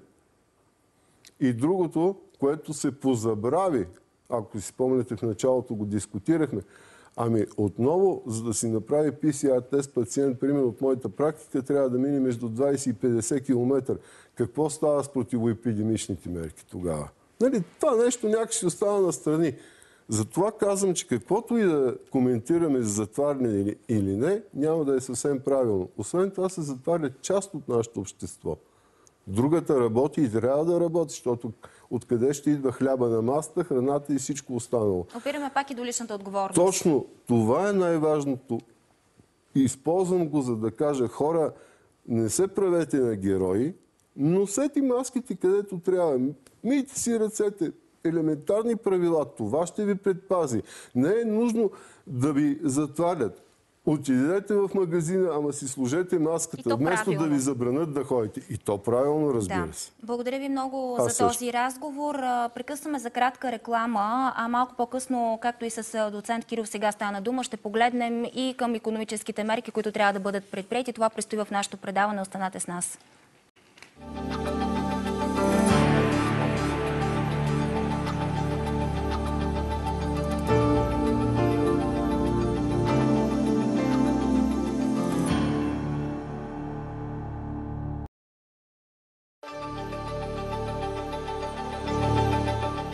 По-строги мерки срещу коронавируса в цялата страна. Кои обекти ще затворят и как новите ограничения ще се отразят на бизнеса, говорят експертите. Стигнаха ли ваксините до личните лекари? В студиото председателят на Националното сдружение на общо практикуващите лекари, доцент Любомир Киров. Кои са замесените длъжностни лица и как шпионския скандал отеква във външно-политически план? Дипломатът Милен Керемечиев и експертът по сигурността Йордан Божилов – защо полицаи изстреляха по преследван автомобил и упражнено ли е полицейско насилие при задържането на водача? Наживо от Казанлък. Наживо, защо собственичка на заведение в София отказва да изпълнява новите мерки срещу коронавируса? Истински екшен по улиците на Казанлък. Вчера сутринта другиран шофьор вдигна на крак полицията след рисково скоростно каране по улиците на града. След дълго преследване и стрелба, полицаите все пак успяват да го спрат. След задържането му обаче, униформени служители не успяват да владеят нервите си и започват да бият арестувания, показва видеоклип заснет от случайен свидетел. Десислава Петкова включваме сега с още информация. Добро утро, Деси.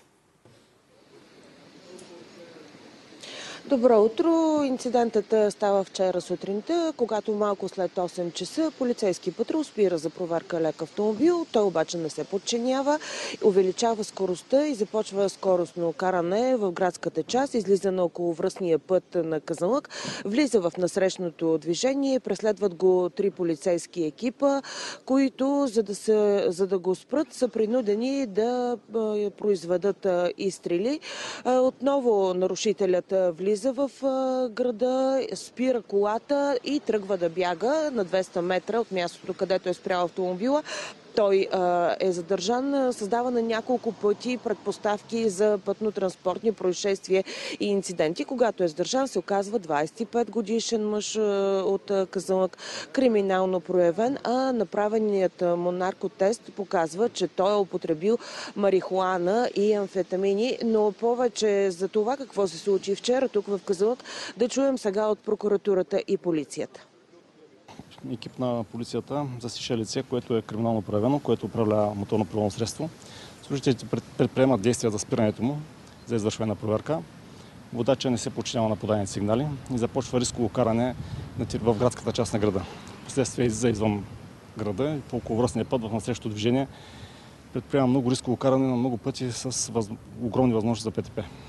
Последствие отново влиза в града и след преследване от около 10 км е спрян вътре в града като по време на това преследване многократно се опитва да изблъска колегите от движението си.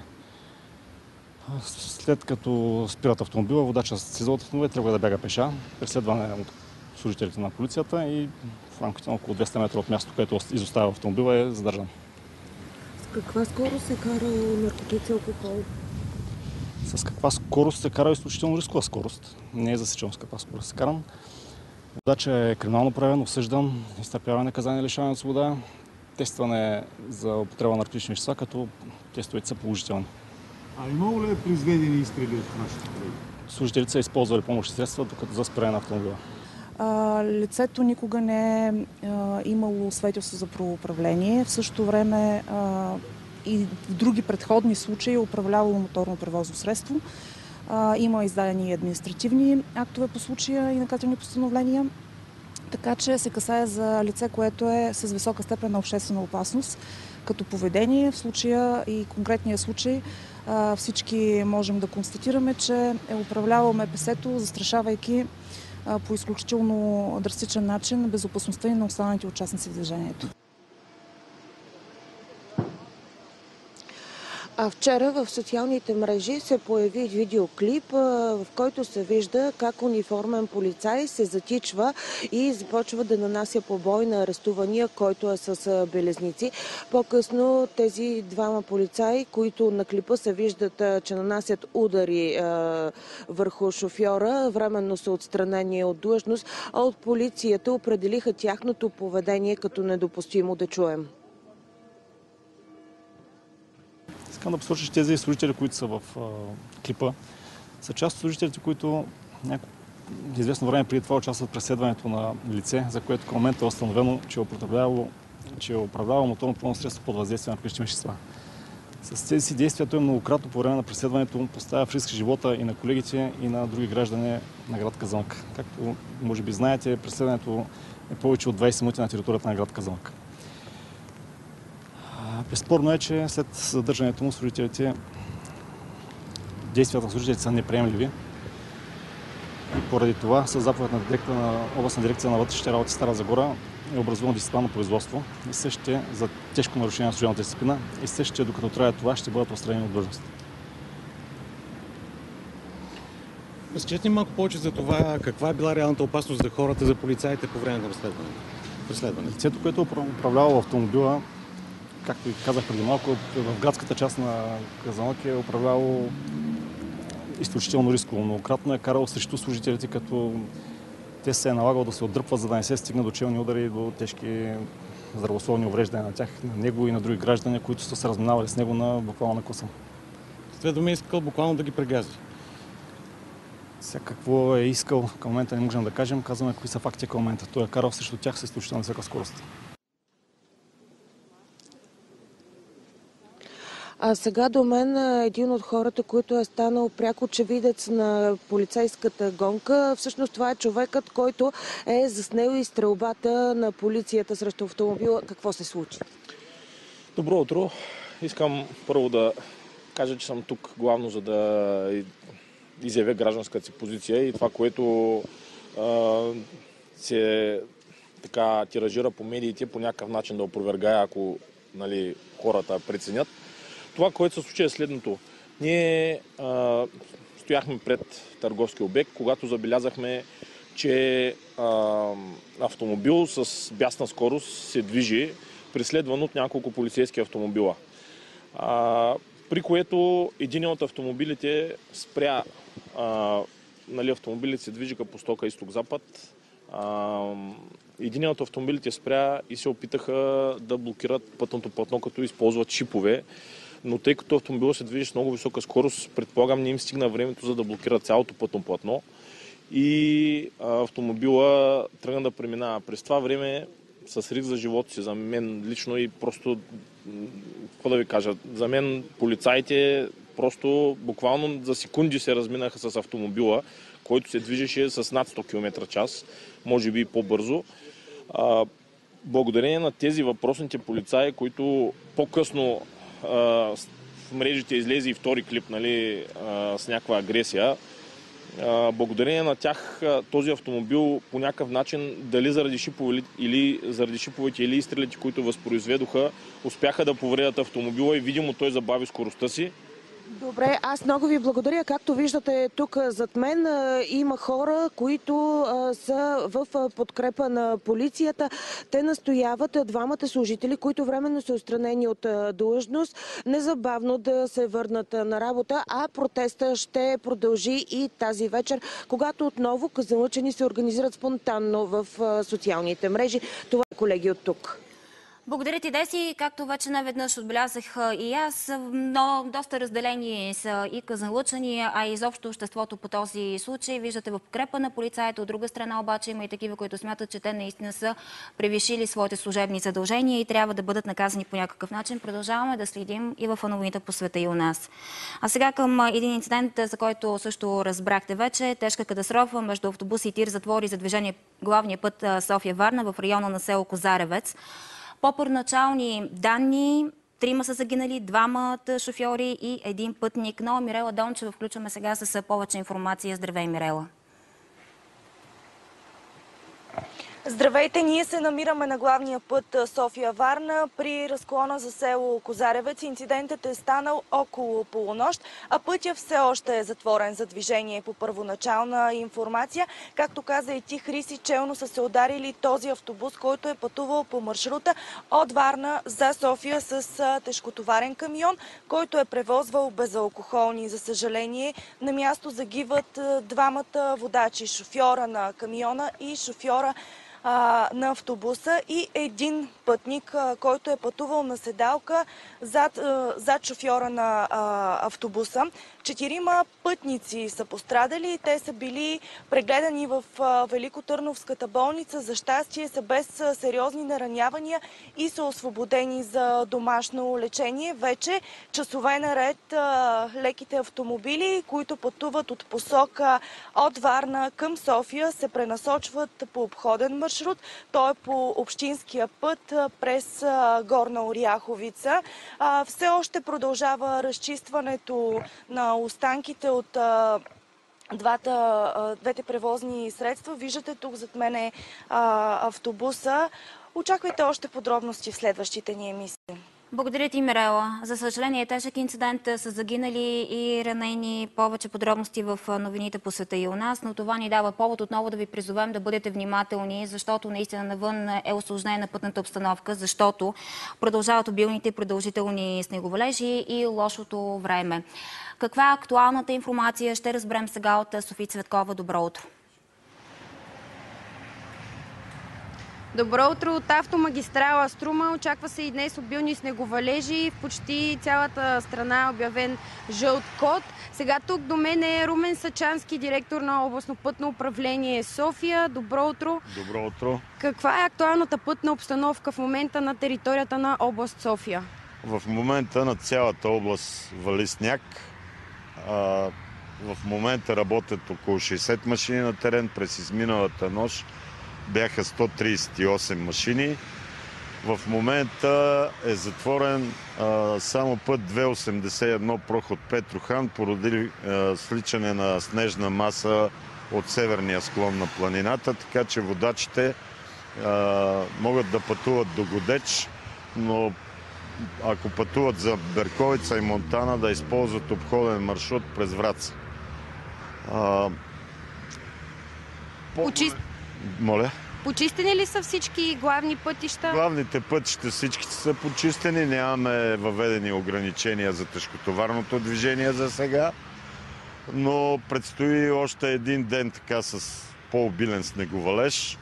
Имаме готовност. Надявам се да не се стига до затваряне на пътища. В момента се обработва третокласната пътна мрежа в планинските райони, където има по-обилен сняг, но основните пътни артерии са проходими. Сигнали за закъсали автомобили имате ли? Ами, до момента не. Имаше сигнали за паднали дървета в прохода Галабец, на Петрохан и на някои други пътища, но своевременно сме ги отстранили. А, ограничения какви са въведени за шофьорите на територия област? Има ли такива въобще? В момента няма въведени ограничения и автомобилите над 12 тона могат да се движат на територията на София област без ограничения по магистралите и първокласните пътища. А, имат, а, къде могат хората да следят за пътната обстановка? Ами на сайта на АПИ. А, api.bg там могат да получат всякаква информация. Добре, благодаря ви. Апелират се гражданите да бъдат подготвени за тръгвайки на път за зимни условия и да бъдат внимателни. Колеги, към вас. Благодаря ти, София. От кадрите, които виждаме при теб, наистина се потвърждава това. Ако ви се налага да пътувате, особено сега в сутричните часове, бъдете внимателни и подготвени за зимните условия навън. И още една история сега ще ви разкажем. В условията на увеличаващи се случаи на COVID и локдаун, експертите, експертните лекарски комисии продължават да освидетелстват пациенти. Явяването им пред телк обаче увеличава риска от заразяване с коронавирус.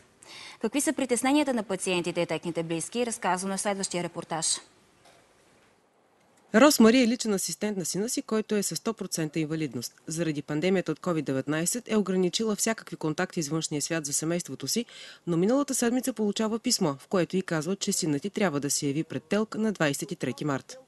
Това е малко време, в което могат да се посетят лекарите, които е необходимо и да се направят изследванията, които трябва тъй като няма места да се запишеш. Освен това, при мен възникна притеснението за това, че а, ние не сме иммунизирани. При първия локдаун през март 2020 всички явявания пред ТЕЛК бяха отложени за месец юли. Рос Мари недоумява защо година по-късно в същата ситуация не се взимат мерки и излагат на опасност едни от най-уязвимите хора. Така направиха миналата година и така а, информация изтече в медиите. Така ли е, не е ли за мен остава а, загадка. загадка. В същото време от Телк ви викат обаче. Да, но от Телк ме викат. Утре тя и синът ти трябва да се явят пред лекарската комисия, но остават притесненията, че има огромен риск да се заразят с коронавируса.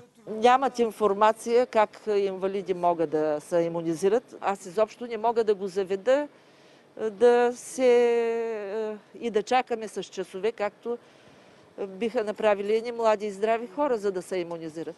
Нямам представа и как ще се състои вече самото явяване пред телка.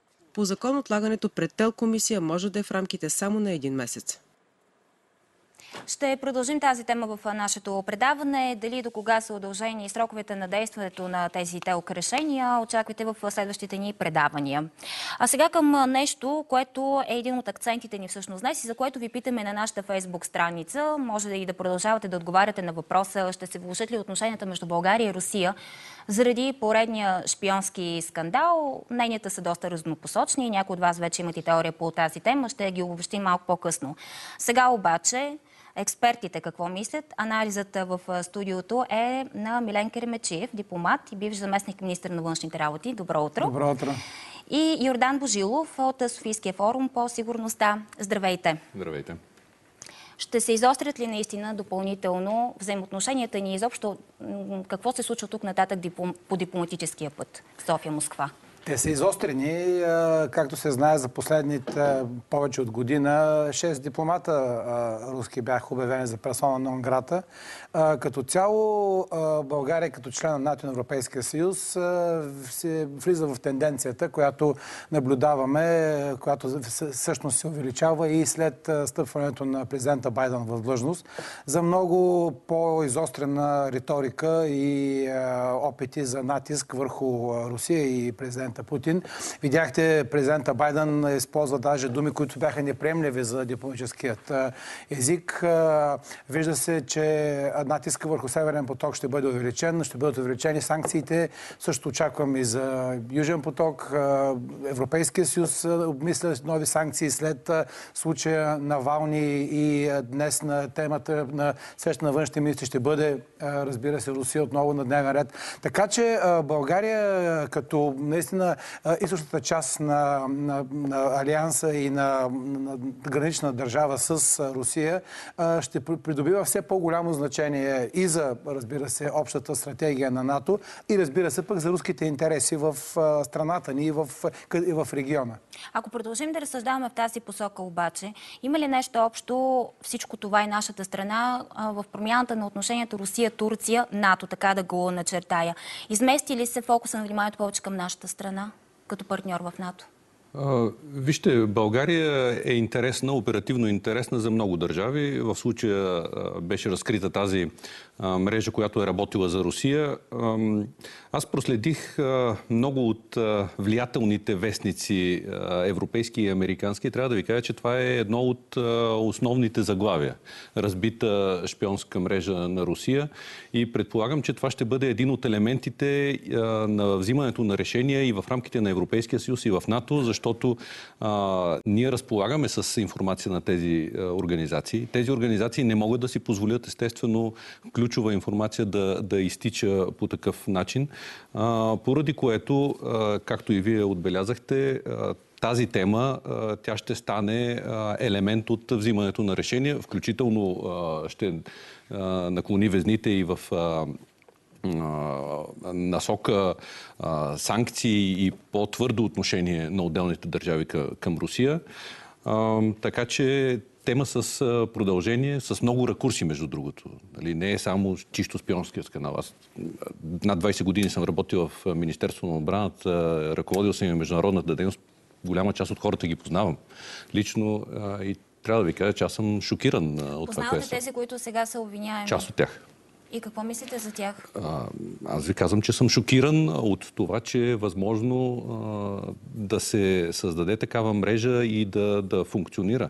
Не е задължително да е изнесена само класифицирана информация, нали, секретна и така нататък. Всяка една информация може да бъде интересна включително информация за това как се взимат решения в една структура или пък бюджетите на Министерството. Това може да се направят много, много, много заключения.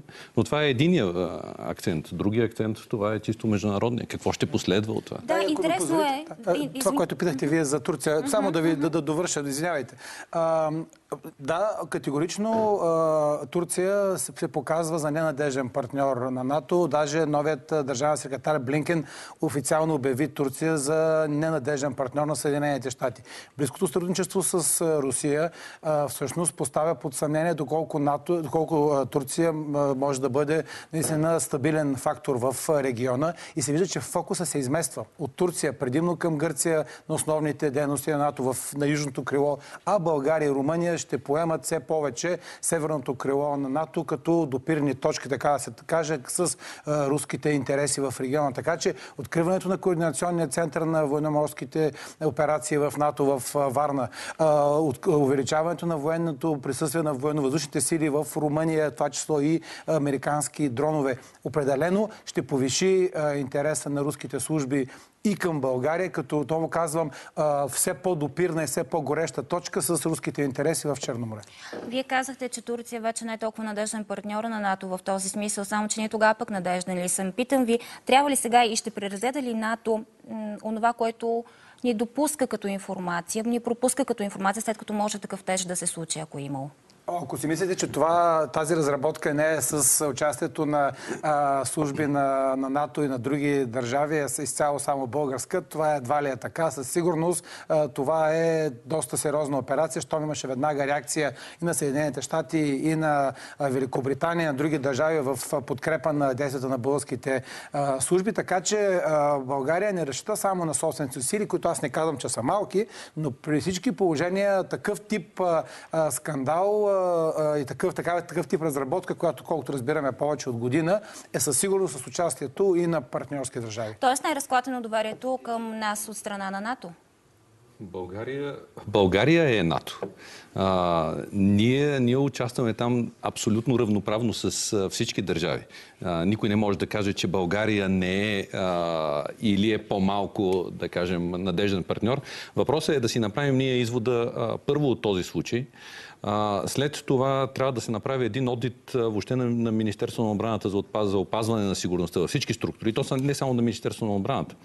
А, и това, което а, искам да споделя, не само България е обект на подобни а, неща. Просто в нас, в този случай, много се а, така афишира само ден преди а, да стане а, задържането на тези хора, в а, Естония беше осъден един експерт, който е работил за структури на НАТО и който е притежавал изключително ценна информация, вербуван от Китай.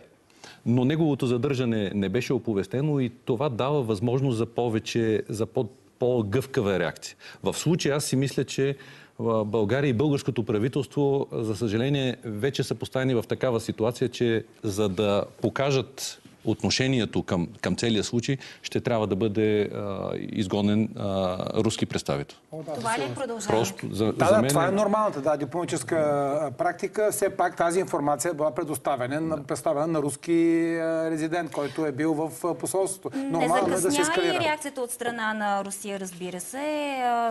Казаха, че се правят в условията на осложняване на международната обстановка, са очевидни непрестанни опити да се забие клин в руско-българския диалог и за пореден път да се демонизира демонизира нашата страна. Цитирам част от позицията. Кой се опитва да демонизира по този начин взаимоотношения? Никой. Отново казвам, че а, руските интереси в региона са доста а, настъпани, така да се каже. А, това, което става и на Балканите, а, влизането на Черна гора, на Република Северна Македония в НАТО също е а, начин на отстъпление на, на, на Русия от а, региона. Всъщност Сърбия остане единственият плацдарм на, на, на руските интереси, през които те, и там имаше те, те прокарват. Скандал. Да, но той беше толкова завуалиран и толкова бързо приключен, че се видя, че наистина е просто част от някакъв, някаква тема, за да се фърли праг в очите на, на западните а, служби. А, така че а, определено троянския кон на, на Балканите на Русия е Сърбия. Оттам минават всички а, интереси. А, а, знае се, че имаше а, опити за задържане на, на Черна гора в орбитата на Русия. Това не се случи. Сега, разбира се, основната, основната цел е Република Северна Македония, колкото по-лоши са отношенията между нас, България и Република Северна Македония, толкова повече руските интереси са защитени. Така че това отстъпване от членството на Република Северна Македония в НАТО всъщност е крачка назад, но възпирането и за членство в Европейския съюз е една от основните цели, цели на руските служби в региона. Така или иначе, от тук нататък очакваме размяна дипломати София-Москва, така да го кажа. Това е следващата стъпка. За мен няма друг изход. Просто ситуацията беше изиграна по такъв начин, че логичното е а, това нещо. Но вие поставихте една изключително важна тема за отношението на България, на, на българите към, към НАТО, към Русия. А, дали не се създава едно впечатление на двойственост а, в нашите съюзници. Тук ми се струва, че ние всички трябва да, да работим, защото нашия избор е, е ясен. Това е евроатлантическите ценности. Заради тях сме и в НАТО, и в Европейския съюз, както и 22 държави от Европа са едновременно членове и на НАТО и на Европейския съюз, плюс, разбира се, САЩ, Канада. А, и а, България трябва ясно да покаже. Нашия избор не подлежи на промяна особено по, по такъв начин. Но, господин Божилов, това, което предизвика различни коментари, то доста възмути, възмути хората, можем да кажем. Е, първо, че военни са замесени, второ, са предавали подобна информация. Трето, главният прокурор каза за жълти стотинки. Четвърто, аматьорски правено. Да не ги изброявам всички обстоятелства, които станаха ясни. Как се обяснявате всичко това? Те първа трябва да се види какви са били мотивите. Аз затова казвам, че много важно е какъв е контекста в България. Дали мотивите не са били, примерно, лични, може да са емоционални, може да са зависимости. А, парите, те да кажем, идват а, по някакъв начин. Не изключвам, че и това... руско гражданство, намесено И завършил в а, Москва човек, така че нормално е, че има и симпатии и пристрастия, което тъй като не само финансовия въпрос е в дъното на, на всичко това. Така че, да, съм съгласен с колегата, че а, тук става въпрос и за, може би, емоционална а, пристрастност на, на, на тези хора. Голяма част знаем от Министерство на отбраната, от особено по-старото поколение, завършили в а, Русия, в Москва, също и самата техника, която все още от години на въоръжение в България е руска, така че основният интерес не е толкова, и то се видя, не е толкова върху превъоръжаването на българската армия, която дори с доста слаби и бавни темпове. Основната цел на интерес на руските служби са операциите, които ще се извършват или се извършват на наша територия и на територията, разбира се, и на Румъния, тъй като вече, пак казвам, ние ставаме част от най-изявеното крило на, на НАТО с съприкосновение с Русия. Но нещо друго любопитно казахте, господин Божилов, че трябва да се направи една ревизия не само в Министерството на отбраната, и на други министерства най-вероятно, да се види кой как, с каква информация разполага. Така ли да разбирам? Имайки преди и другите шпионски скандали, можем ли да правим някаква а, някакъв паралел? А, Принципно след подобно нещо трябва да се види какви са щетите. И това е въпрос на, на един анализ. Знаете, информация на НАТО, на Европейския съюз се разпространява във всички структури, не само от сигурността, но и различни министерства. Включително и сега по, по COVID ние имаме политики на НАТО, на Европейския съюз, които са интересни за други държави.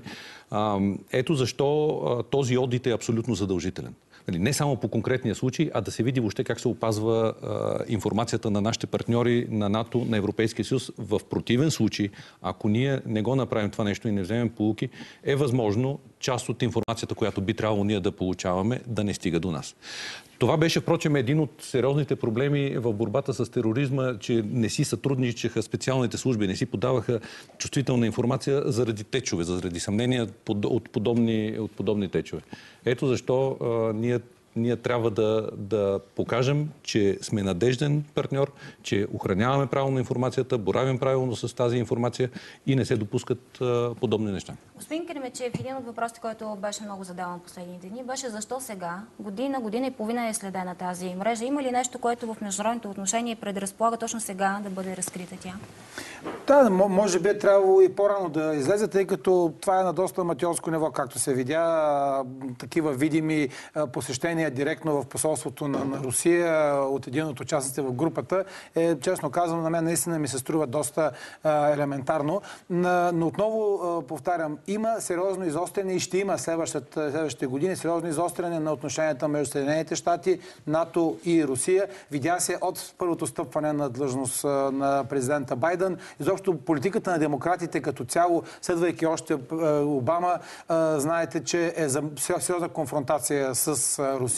Така че ще има все повече натиск, все повече санкции. Отново повтарям, че не само Северен поток ще бъде под много по-сериозен натиск за спиране на неговото продължаване, но и Южен поток, така че ще има и натиски върху България в тази сфера, тъй като Съединените щати не делят двата, двата потока за тях. Това са двете врати за влизане на влияние на руските интереси в Европа. Така че а, натиска и конфронтация с Русия само ще расте по време на мандата на президента Байден. Но не само, не само Русия. И това трябва да е, да е а, ясно. Да, да. А, ние ще имаме изостряне на много фронтове. България, НАТО, Европейския съюз е интересен и за други държави, и за терористични организации. И, а, така че а, въпросите на сигурността трябва да бъдат поставени на едно много по-високо ниво. Както ви казах в началото на нашия разговор, различни въпроси и мнения предизвика тази тема и на нашата фейсбук страница. Може сега колегите да покажат част от тях. Ще се възползвам за финал на нашия разговор да поставя тази тема в още един контекст. Въпрос от Борислав Димитров. В началото на вечерието на изборите тази криза в отношенията между България и Русия ще се отрази ли сериозно върху следващото българско правителство? Въобще политическия контекст тук. Защо преди избори става сега този скандал? Какво след изборите? Ще има ли продължение? Според мен фактор тук е отношението на българското общество към Русия. В по-голямата си част то е положително. А, може би ще им, в зависимост и от продължението на тази криза, то ще има импликации както вътре в страната, така и, и, и навън. Тоест нас ни гледат под лупа и в Америка, и в Европа какви действия ще предприемем. Като чух министър председателя и неговите изказвания, според мен е по-скоро ще има импликации за президентските избори, защото там са насочени стрелите, по какъв начин президентската администрация отговаря на, на този скандал. Така че, според мен, по-скоро парламентарните избори няма да бъдат толкова сегнати, колкото предстоящите президентски избори. Но там са насочени, според мен, и стрелите. Добре, благодаря ви много за този анализ в нашото студио. Очакваме, разбира се, да видим и докъде и как ще стигне и разплитането на тази мрежа и от тук нататък и по дипломатически път какво следва. Въпреки, че вече маркирахте част от отговорите на тези въпроси, за което ви благодарим. Следват новините в 8, а след това отново COVID-19, но в контекста на економиката и економическите мерки. Останете с нас.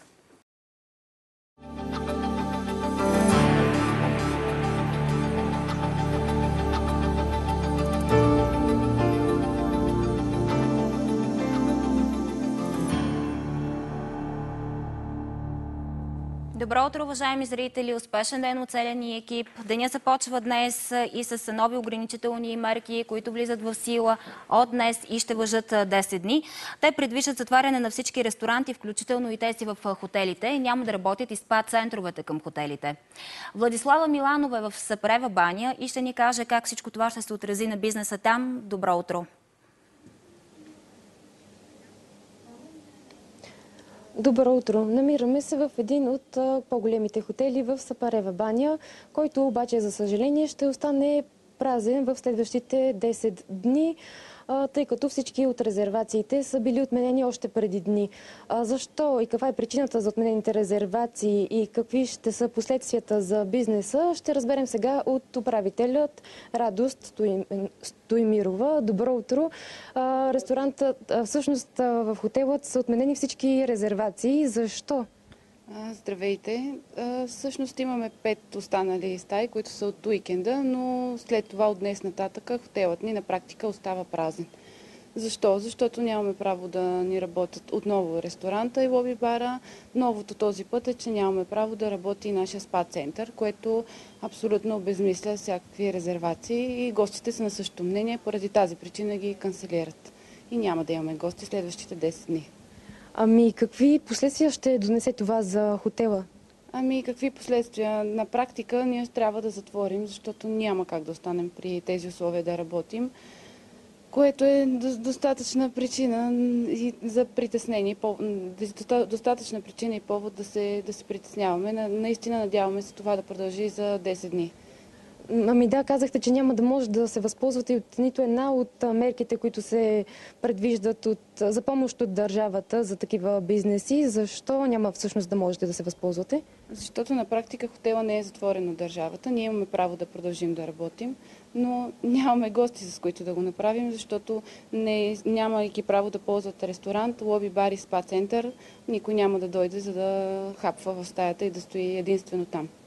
Това е причината, по която, заради която няма да се възползваме от мерките.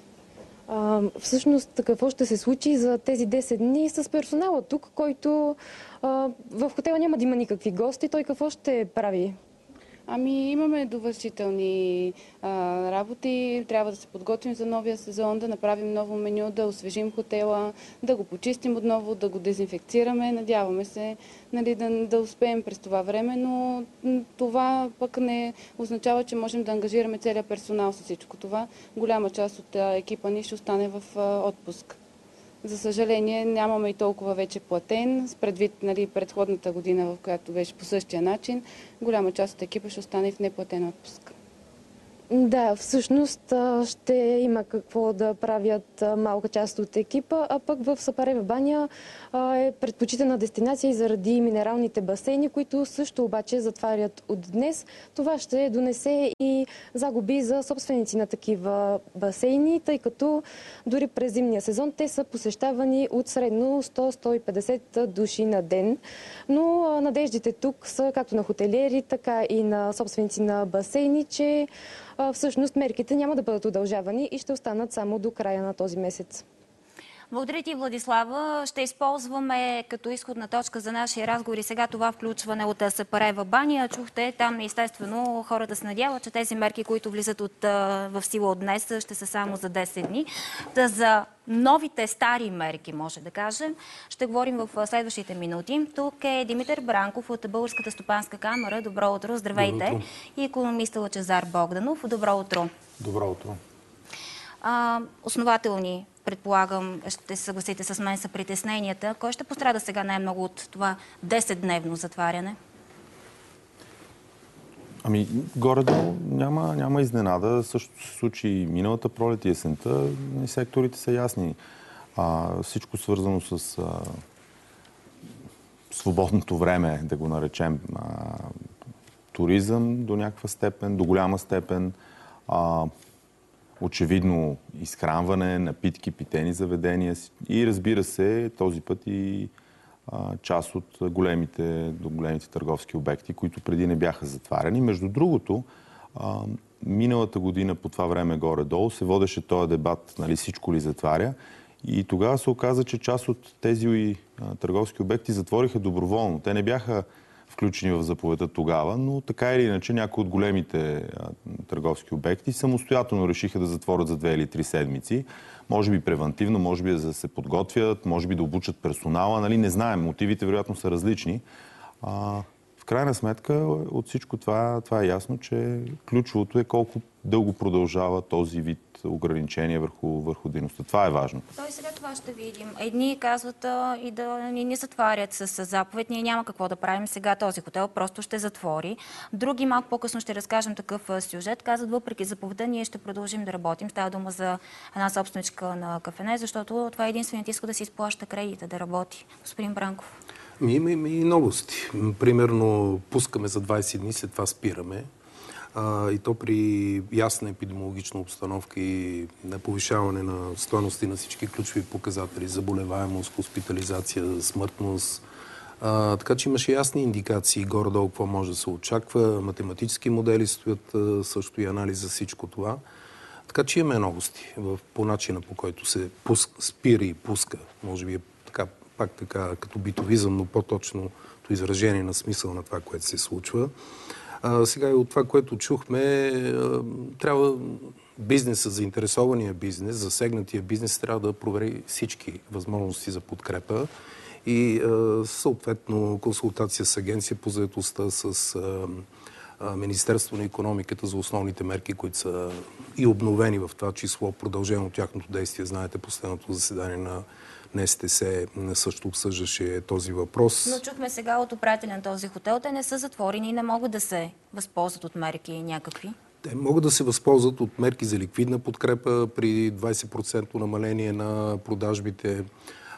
могат да се възползват от компенсации 70% върху осигурителния доход.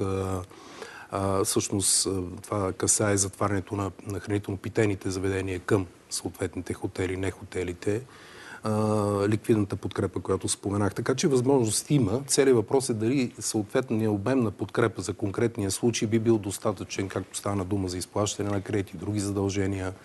И тук е въпроса да, да споменем за модела, алгоритъма, който следваме за тази подкрепа за бизнеса. Тъй като той остава неясен в неговите общи рамки. Аз споменах ключовите показатели, алармените прагови стоености, при, при които се стартират съответни мерки. Всичко това трябва да е предварително известно.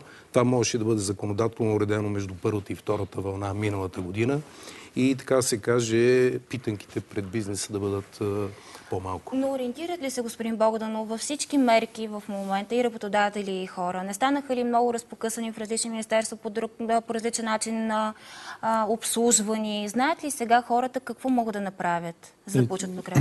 Вероятно е различно. Аз не мога да претендирам, че знам всеки Трябваше ли да има някакво едряване, така да го кажа? По принцип, по-добре е да имаме една или две схеми, които разбира се да има някакъв нюанс според естеството на бизнес, отколкото да правим всеки път нови мерки. Най-малкото и защото всяка нова мярка, особено ако се финансира с европейски средства, трябва да мине през одобрение а, за допустима държавна помощ а, от Европейската комисия. Отнема време. Освен това, изискванията са нали, много строго а, разписани. В крайна сметка, а, то се видя. Значи, относително проста схема като 60 на 40, т.е. подкрепа на заетостта, а, субсидия за част от разходите за труд на работодателите, тя след първите една-две седмици така, напрежение и изчистване на нещата още миналия април, някак си сработи и вече се изчистват някакви детайли. Това Обаче, ли е най-добрата път... работеща ами, мярка? Тя е най... Сега не знам дали е най-добрата, но тя е работеща. В смисъл пари отиват до бизнеса, отиват до хората, запазва се заетостта в някаква степен. А, не, че е перфектна, но въпросът е всеки път, когато се опитваме да правим изцяло нови неща, нали, отнема време. Както стана това с оборота през... Обявиха го, аз изпомням на, на, едно, един брифинг, ли как ги наричат вече, през конференция 22-3 ноември и вместо до дни да стартира, се те те първа нали, се почваше мислене, готвене. Тоест, отнема време. И може би не трябва пък и да виним, както се казва, администрацията, защото администрацията работата ти е да направи такъв механизъм, че да няма злоупотреби, да е справедливо, да, да се спазват законите на страната, но това отнема време. Всеки път, когато правиш нещо изцяло ново, това се случва. А, так, Та в този смисъл, а, и, и, сега, а, това с забраните наистина е, е проблем. Значи, но той не е само за България проблем в този смисъл. Ако видите данните за въздушния транспорт, трафика на пътници в февруари е 87% по-нисък от, от миналата година, а и миналата година не беше особено висок а, зимът. Значи, очевидно хората не пътуват, очевидно много по-малко хора ходят в курортите. А, да, наистина, ако има спа курорт, може би част от хората от страната наблизо отиват за един уикенд. Но така или иначе имаме структурен проблем специално в сектора на туризма, който дори да не е забранено формално, има много, много големи пречки. Ние го видяхме миналото лято. Тогава беше абсолютно отворено в България и пак имахме около 70% спад на, на туристите.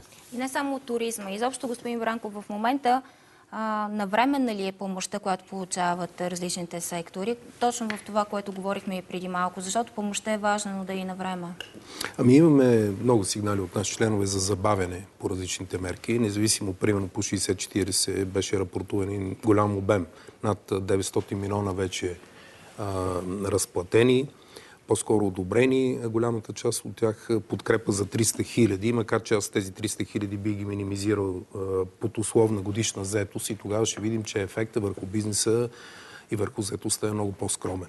Тъй като и примерно, знаете, правим ни проучване предколедни, два пъти по-така силна, по- повече работодатели са съкръщавали хора, отколкото се възползвали от мерките. Предпочитали са да се лишат от работници? Ами, очевидно те са преценили, че няма шанс да продължат заетостта или пък, че размера на подкрепата не покрива постоянните разходи и другите, които така, са свързани с спиране, затваряне и така нататък. А, в същото време обема, общия обем, че ако погледнем цялата картина, ще видим, че има един обем на подкрепа порядъка на вероятно около 2-2,5 милиарда лева от които част от тях да и ликвидност, която е много важна. Забавена, пак казвам, имаме сигнали за забавяне. Бяха излишно осложнени част от мерките. Ако ги сравним с други страни, ще видим, че много по-безусловна е подкрепата на другите държави членки в голяма част от случаите която позволява нали, и по-малко фокусирани мерки и по-масивна подкрепа. Но се връщам на въпроса за общия обем. Правителството знаете, че имаше 3% прогноза за спад на БВП, което заедно с, в номинално изражение би говорило за една, фактически за, една, за един обем на подкрепа за целият този спад. Защото имаме такива случаи то в големите държави, в големите економики и не само в Европейския съюз. Тоест ставаше дума, ако преизчислим тази прогнозна величина, става дума за около 6 и повече милиарда лева. Ние в момента говорим за 2-2,5. При това една част от тази подкрепа под формата на финансови гаранции, отсрочване на разплащането, мораториум върху задълженията по кредити. Мораториум върху задълженията. Ще маркираме и други, но това е нещо, което в момента също е въпрос. Трябва ли да има трети такъв? Кредити, мораториум върху кредитите? Значи, зависи как се развива пандемията. Ако а, каквото е основното допускане имаме сега тази неблагоприятна здравна картина с зимата и началото на пролетта, след което пандемията намали интензитета си в... Говорим за, разбира се, за Европейския съюз и, и в частност България, но в крайна сметка на целия континент економиката е доста свързана. След което вакцинацията напредне и всъщност нямаме нова здравна заплаха лятото и, и есента, всъщност тогава няма основание да, да считаме, че економиката ще изпита нов шок. Така че тогава няма и логика. И между другото тогава ам, всъщност това, което ни липсва в момента е разговор за, а, за мерки и за економически политики, които да са насочени към растеж, които да са насочени към бързо възстановяване. А, твърде много разбираемо време се отделя за какво да направим точно за кафенетата, нали, ресторантите, сега. фитнесите сега или защо, примерно, от помощ, която е трябвало да бъде платена януари, се плаща февруари. Тоест, това са, разбира се, важни теми от гледна точка на отделния бизнес, но в крайна сметка въпрос е, ако, ако вакцинацията напредне в Европа и ако е успешна, и това пречупи, така да се каже, гръбнака на, на болестта, тя няма да изчезне, но да кажем да я вкара в едни приемливи граници, в които здравната система може да се справи, то тогава ние трябва да имаме модел и механизъм, с който да, да ускорим економическото възстановяване, така, защото економиката да расте много бързо. Видяхте какво се случва в Китай. Китай миналата година при все пълното затваряне на економиката за около 2 месеца и половина, отчете в крайна сметка на годишна основа растеж. Това е невиждано. Тази година вероятно ще отчете растеж над 6%. Тоест, не казвам, че ние сме същата економика като Китай в Европа или имаме същата структура на економиката, но въпросът е този. Имаме модел, който би могъл да бъде... Имаме ли, имаме ли идея какво да правим така, че да инвестициите да, отново да, да, да рестартират, отново да се наемат хора вече в, в, в бизнеси, които са успешни, които не се нуждаят от, от помощ. Тоест, ние до момента се мислим как, как да има повече държавна помощ, за да се спасят бизнеси. А моят въпрос всъщност е как да имаме бизнеси, които не се нуждаят от подкрепа, напротив, могат повече да инвестират, повече работни места да създават и да растат в следващите една, две, три години. Това е важният въпрос или наистина това, което се изисква да се взимат кредити, но и да се отложи тяхното погасяване, докато дойдат по-добрите времена? И двете неща са важни и би казал дори без значение каква е хипотезата и очакванията ни за развитие на епидемиологичната установка. Ще има ли, вероятно ще има четвърта вълна, по размер тя каква ще бъде спрямо първите три. Сегашната, която да речем, ако е третата, тя е третата. А, но съм категорично съгласен с казаното. Става дума за забавени реформи. А, само един пример. Такса битови отпадъци. Стопанска камера е лидер в борбата за нейното обвързване с количеството събрани и третирани битови отпадъци. И виждате, че вече 20 и повече години, откакто водим тази битка, нищо не се случва. И сега кризата изостри този проблем. А, затварят, да речеме, спира дейността на съответния хотел, но таксата е дължима. А, така че тук става дума и за плана за възстановяване на устойчивост, който очевидно трябва да бъде преразгледан, включително неговия втори вариант, независимо, че сроковете за представянето пред Европейската комисия са изключително кратки. Тук без значение какъв ще бъде политическия формат след изборите, Очевидно е необходима ревизия, тъй като става дума за два стълба, за два крака на този план. Реформи и инвестиционни проекти. Ние не видяхме тази симбиоза, тази синергия и в първи и във втори вариант. Критиките са много. И то не само от страна на бизнеса, на всички засегнати части на обществото, бих казал. А, пред нас и с, пред вратата сме на, Европе... на, на еврозоната. Неясно защо беше отсрочено влизането за 24-та вместо за 23-та година. Ние малко забрахме тази тема да, покрай част от обещанията, които си... слушаме, очевидно, ако бъдат изпълнени, означават една свръхинфлация, която ще ни върне и още по-нататък във времето. Примерно 25-та, 26-та или неясно кога. Така че много има какво да се прави, именно в подкрепа на растеж. А, аз за плана за възстановяване, една, една реплика, може би допълнение.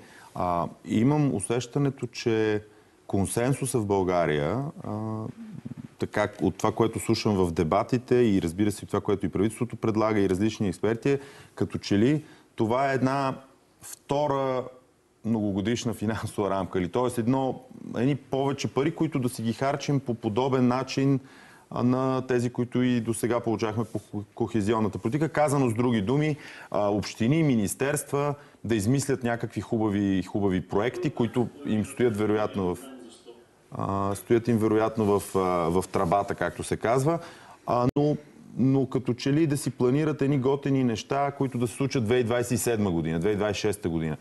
Цели, цялата философия на този план беше ударно страните членки да получат възможност сега в кризата да инвестират, а не да отлагат във времето. И, и това е нашия проблем. Ние в следващите три години от този план ще получим едва 7 или 8% от парите ще се харчат в следващите 3 години. Тоест, какъв антикризисен план е този, който, който ще се освоява след 4 до 7 години? Тоест, очевидно, очевидно е жертва на скоростта за сметка на това да се включат в него някакви проекти, които сами по себе си може да са добри, но са много напред във времето. И, и същото, по същата логика и, и с, с реформите. Тоест ние не, не натискаме много големи реформи сега в началото, защото явно смятаме, че няма нужда от кой знае колко голямо бързане в момента.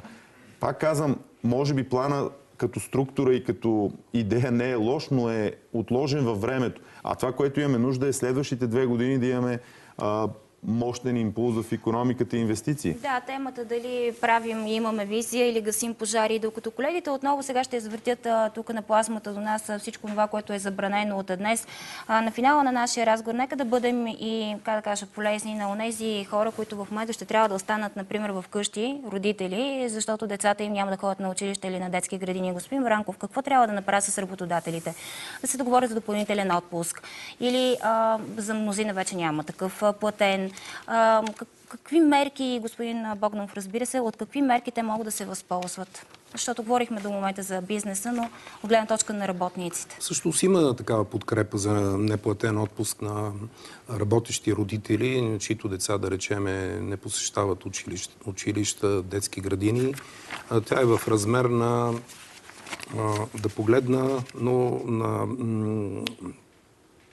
в зависимост от броя деца. Да. Едно или две деца. 600 и 900 лева, ако не да, може на... такова Това е така наречената мярка за помощ при неплатен отпуск от Агенцията за социално подпомагане. 650 лева за едно дете, 975 за две деца и повече деца. Така че тези възможности, естествено, че трябва там, където е необходимо да бъдат оползотворени. Има подоходен критерий обаче.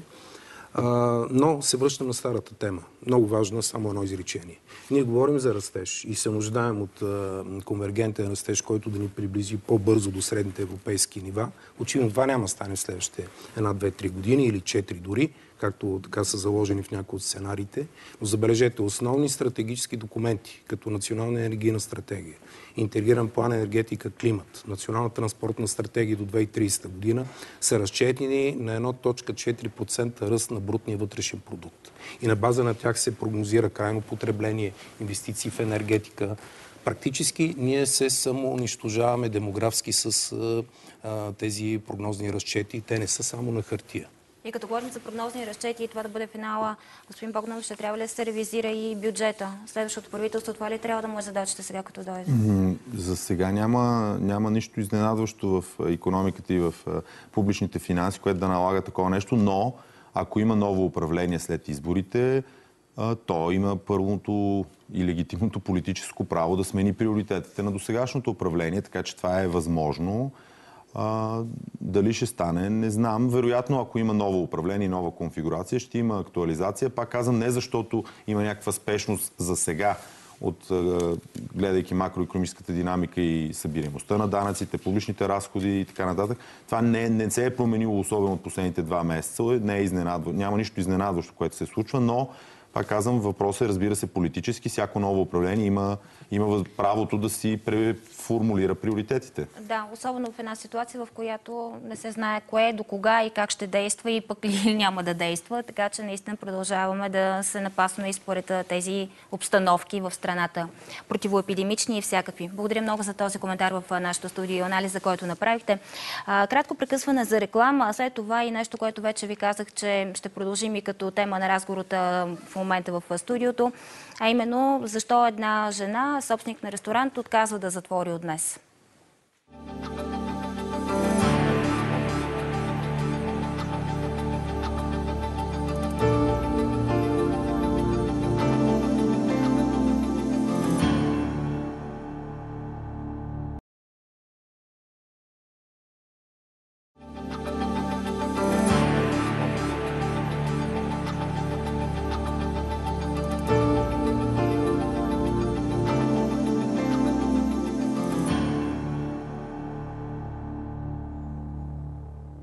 Здравейте отново, уважаеми зрители. Знаете, от сутринта следим един сюжет, свързан с това, че 34 годишен скиор изчезна в Рила планина, докато кара ски с приятели. В момента се провежда спасителна акция по издирването му.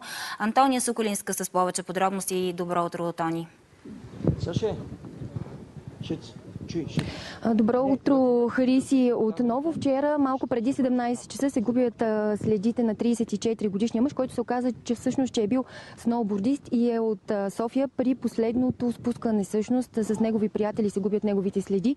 Всеки момент ще бъде подновена спасителната акция тук по издирването му. Започнаха да се събират доброволци на началната станция на лифта. До мен е Красимир Стоянов, пистова спасителна служба. Господин Стоянов, добро утро. Добро утро на ваши на зрителите. Кажете ни така вчера, къде се предполага, че се е загубил младият сноубордист? С абсолютна сигурност знаем къде е последната точка, от която е тръгнал. Това е в а, горната част на пистата, между самата писта и така наречените чаши. Има един ръб. Точно на ръба са били тримата приятели. След това тръгват заедно надолу по ръба и долу там, където са, са се разбрали да се съберат, него го няма. Те мислят, че е отишъл малко по-страни и го изчакват долу в кафето на хотела. 15 минути, след което започват да се тревожат за него. Тази тревога нарасва. В един хубав момент ни информират нас. Ние имаме задължението да се занимаваме само с инцидентите на пистата, но се включваме на секундата, защото ясно вече защо го трябва да се прави това. Оттам нататък притърсихме с неговите приятели и нашият екип всички вероятни места. През това време посъветвахме приятелите му чрез 112 да, понеже нямахме и време да се занимаваме с нищо друго, освен с търсенето, да информират и Планинската спасителна служба. Момчетата се организираха, дойдоха и започнахме съвместни действия, които продължиха, мисля, около един часа. Две опасни лавини е имало вчера тук в района на ски зоната. В района на ски зоната, извън района на ски зоната има един улей, който сме нарекли американката, поради това, че преди години се загуби една бордистка американка, която за щастие намерихме за два часа. Случай в момента не е такъв. Там паднаха две огромни половини. Има ли, има ли вероятност там да е загубеният сноубордист? А логично е. А логично е, защото а, там, където а, се губят следите му, е точно от другата част на пистата. И е нелогично да пресечете цялата писта и да отидете на, място, на район, който не познавате. Освен всичко друго, условията не беха чак толкова тежки и трудни, че да, да имаше много добра видимост и а, няма причина, преди която да си мислим, че той е оттатък. Но въпреки всичко сме длъжни да потърсим. Само с едно изречение казахте, че има големи шансове той все още да някъде да се е скрил, да е в добро състояние. Ние вярваме, че а, момчето е добре подготвено. И психически, и физически, и вярваме, че това е така. Благодаря ви много за това участие. Оставаме тук на място. Всеки момент ще започне отново издирвателна акция, в която се очаква да се включат и спасителни кучета. Следим ситуацията. Очаквайте още информация в новините. Благодаря ти, Тони. Надяваме се добри новини в емисията Посетил нас да получим от теб. А сега към нещо, което вече видяхте и в новините Посетил нас вчера. Към един сигнал от Фейсбук страницата. Ще цитирам част от нея. Новината на деня. Необявеното извънредно положение. Заемите са си изискуеми. Само при извънредно положение можело и то два пъти. Да, но затварят за трети. Та банката срещу НАП, кой ще грабне първо пияното на сина ми леглото му, леглото му това написа в Фейсбук Русица Коцева на страницата на заведението, което управлява. Сега ще разговаряме именно с нея, с онова, което в момента я заварва, да кажем, това ново затваряне заради противоепидемичните мерки. Стела Илиева е при нея. Добро утро. Добро утро, Христи. Да, както ти каза вече, това заведение не желая да затваря. А тук до мен е Русица Коцева която ще ни каже, тя е собственик на заведението, която ще ни каже защо стигна до това, до това решение. Добро утро. Добро утро. Ами много е просто. А, ако е толкова зле положението, защо не се затвори цялата държава, както я затвориха миналата година? Защо трябва една година едни да работят, други да не работят? От кога държавата разви господен комплекс и решава кой трябва да живее и кой не трябва да живее?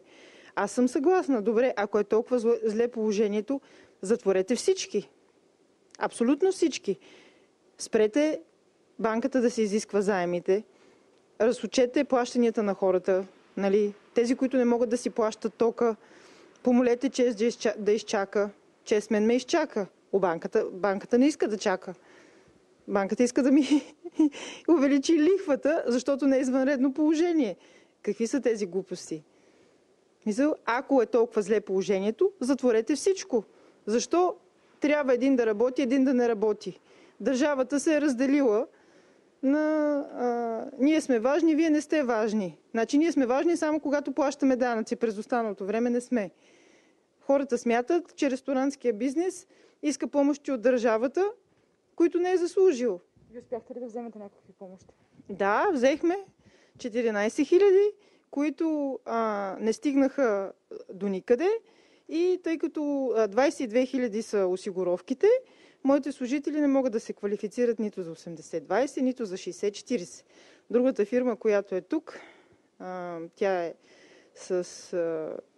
Тя се води диетичен ресторант, на нея отказаха, защото била консултантска дейност, а не била ресторант и кода не съвпадал, нали. Еми, само а, това ли е? Да, обжалваме. В момента казаха евентуално тази седмица, евентуално, ще ли да имат решение.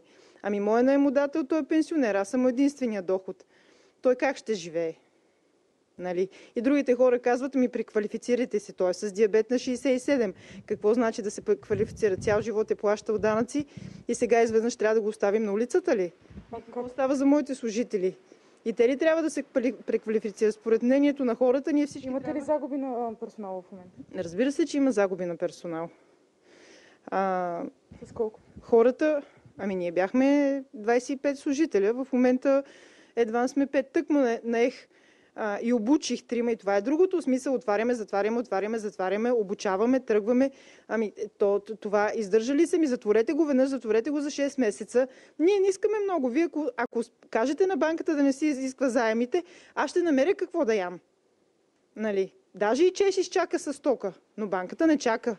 Така че, ако е толкова извънредно положението, затворете държавата, затворете всичко. Как, как възнамерявате да работите сега? А, днес е само на бара, тъй като а, не желая, а, всъщност казах на колегите да не идват. Не искам допълнителен стрес на всички. Те казаха, че ще дойдат да пият кафе, защото а, искат да подкрепят каузата. Това е. Ако е толкова зле положението, затворете всичко. А не ви ли е страх от глоби, че могат да дойдат? Ами, много ще ми е интересно кой пръв а, ще вземе а, апартамента ми, дали ще бъде банката или ще бъде НАП. Ние, когато сме толкова зле, 5, 10, 20 хиляди отгоре, какво, какво ще ми вземат? Да ми вземат якито, ако искат. Благодаря ви. Чухте каква е ситуацията тук от това заведение. Наистина на хората им е тежко. Това е от, от тук. Благодаря ти, Стела. Нещо, което коментирахме преди малко с економистите в нашето предаване е, за съжаление, кредитите не чакат и много хора срещат тази своя, този свой проблем да изплащат регулярно и вноските си по кредити. Разбира се, ще проследим този, тази история и в новините по света и у нас и в нашето предаване. И още нещо, което днес ни е важно, как ще работят пазарите. Карина Каранятова с важна информация. Сега добро утро.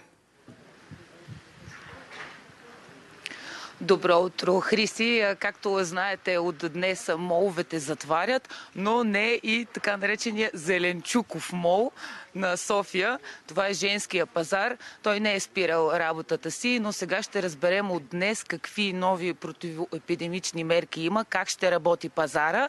А повече подробности за това сега ще ни каже изпълнителният директор Драгомир Димитров. Добро утро. Добро утро на вас и на вашите зрители.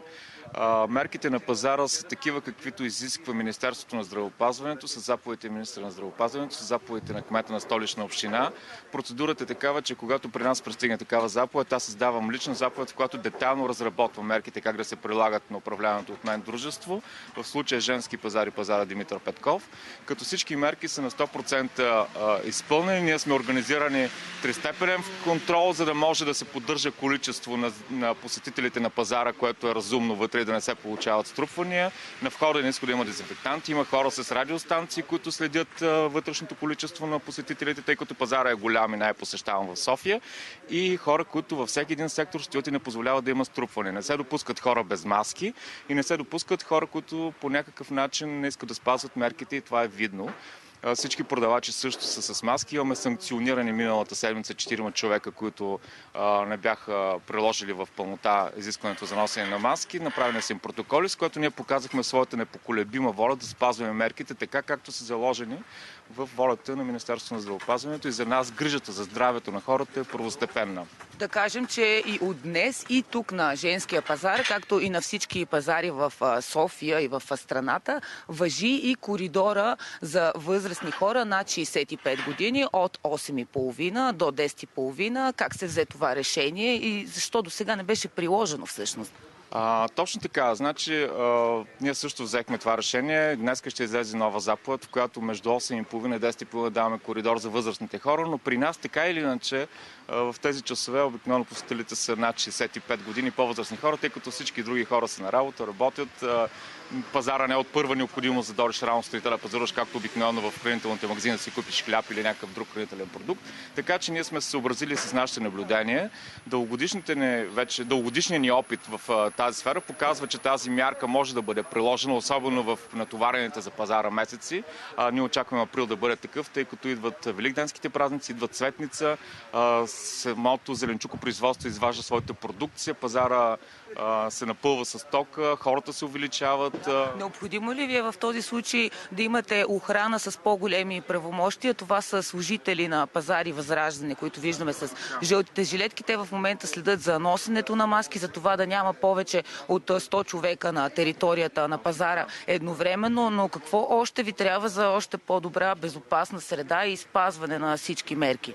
Ние сме а, дисциплинирали до голяма степен посетителите на пазара, защото една година мерките не са падали. Те се прилагат точно в този вид, в който ги виждате и вие днес. И това си лечи по огражденията, по начина по който хората вече са се дисциплинирали. Те знаят, че няма да бъдат пуснати в територията на пазара без маска, знаят, че трябва да дойдат с маска, знаят потоците, по които трябва да се движат. Всичко това вече е изградени навици, но въпреки това, с засилването на човекопотока през април месец и наближаващите празници, ние няма да успеем сами да се справим, тъй като предизвикателството ще бъде огромно и вероятно ние ще прибегнем до услугите в този месец на охранителна фирма, с която ще се сътрудничим сътрудничам, за да можем да запазим най-старото столично тържище, да бъде изрядно и да работи като примери за всички други. А очаквате ли все пак сега да има повече хора с оглед на това, че са затворени магазините? Тук може да си вземеш и храна за вкъщи, на едно място можеш да си купиш доста неща, пък и все пак е на открито, на чист въздух, хората може би се чувстват по-безопасно така. Със сигурност на открито хората би трябвало да се чувстват по-безопасно, но когато видят, че мерките се спазват и прилагат,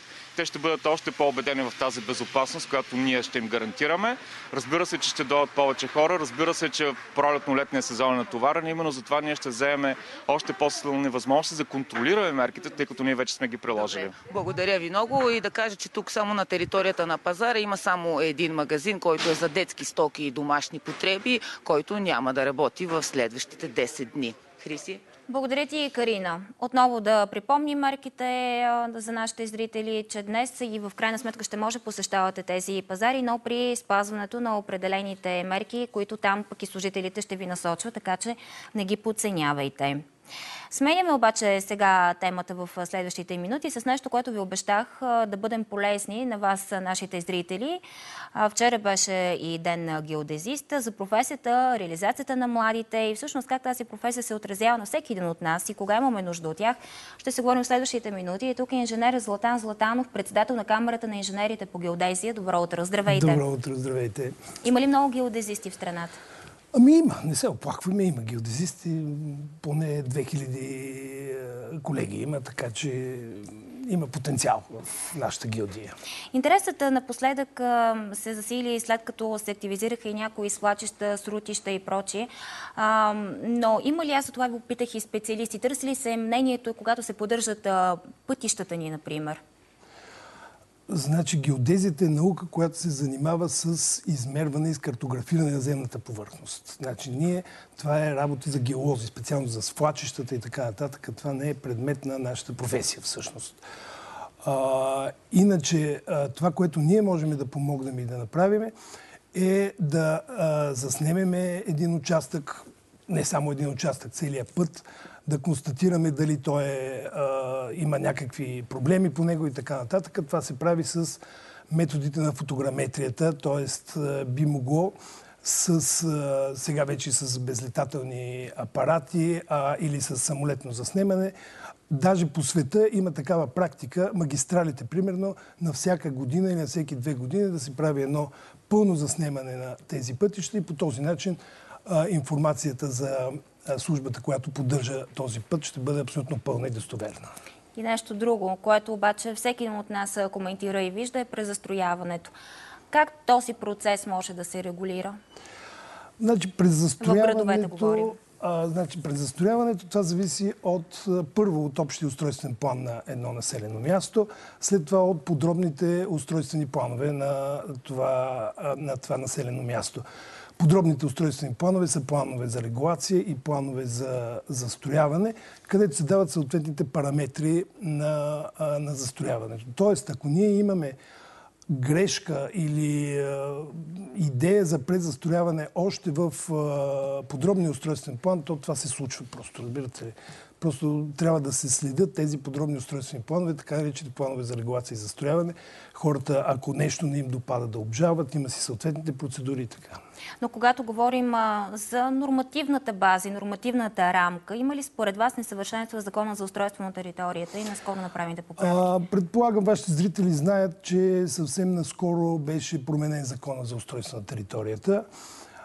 Там има, между другото, и много хубави нови предложения, но има някои предложения, които според не само нашата гилдия, според колегите архитекти, инженерите от Камера на инженерите в инвестиционното проектиране, са недобре обяснени в този закон. Тук мога да кажа веднага за един член 148 алинея 16 от Закона за устройство на територията, а, но може би преди това, ако имам две минутки да, само, се. да а, кажа за какво става дума. Значи, трябва да се знае, че за вашите зрители, че кадастърът това показва собствеността върху земята.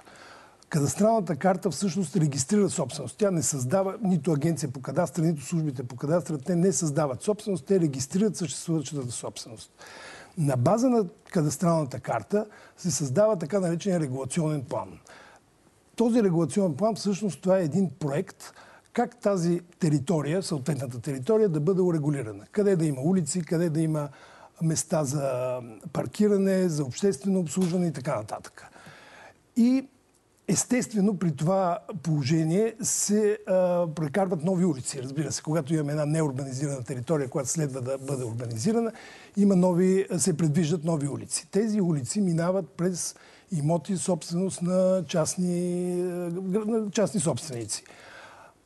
И тук е проблема с този член 148 алинея 16, защото съвсем коректно е казано, че уличната регулация трябва да бъде приложена. Тоест, частта от имотите, които попада в уличното платно на, и е собственост на частни собственици, трябва да стане общинска по някакъв начин. Но в този закон не е показан начинът, т.е. той е някакъв императивен, който не е показан начинът по който това да стане. И това до какво ще доведе?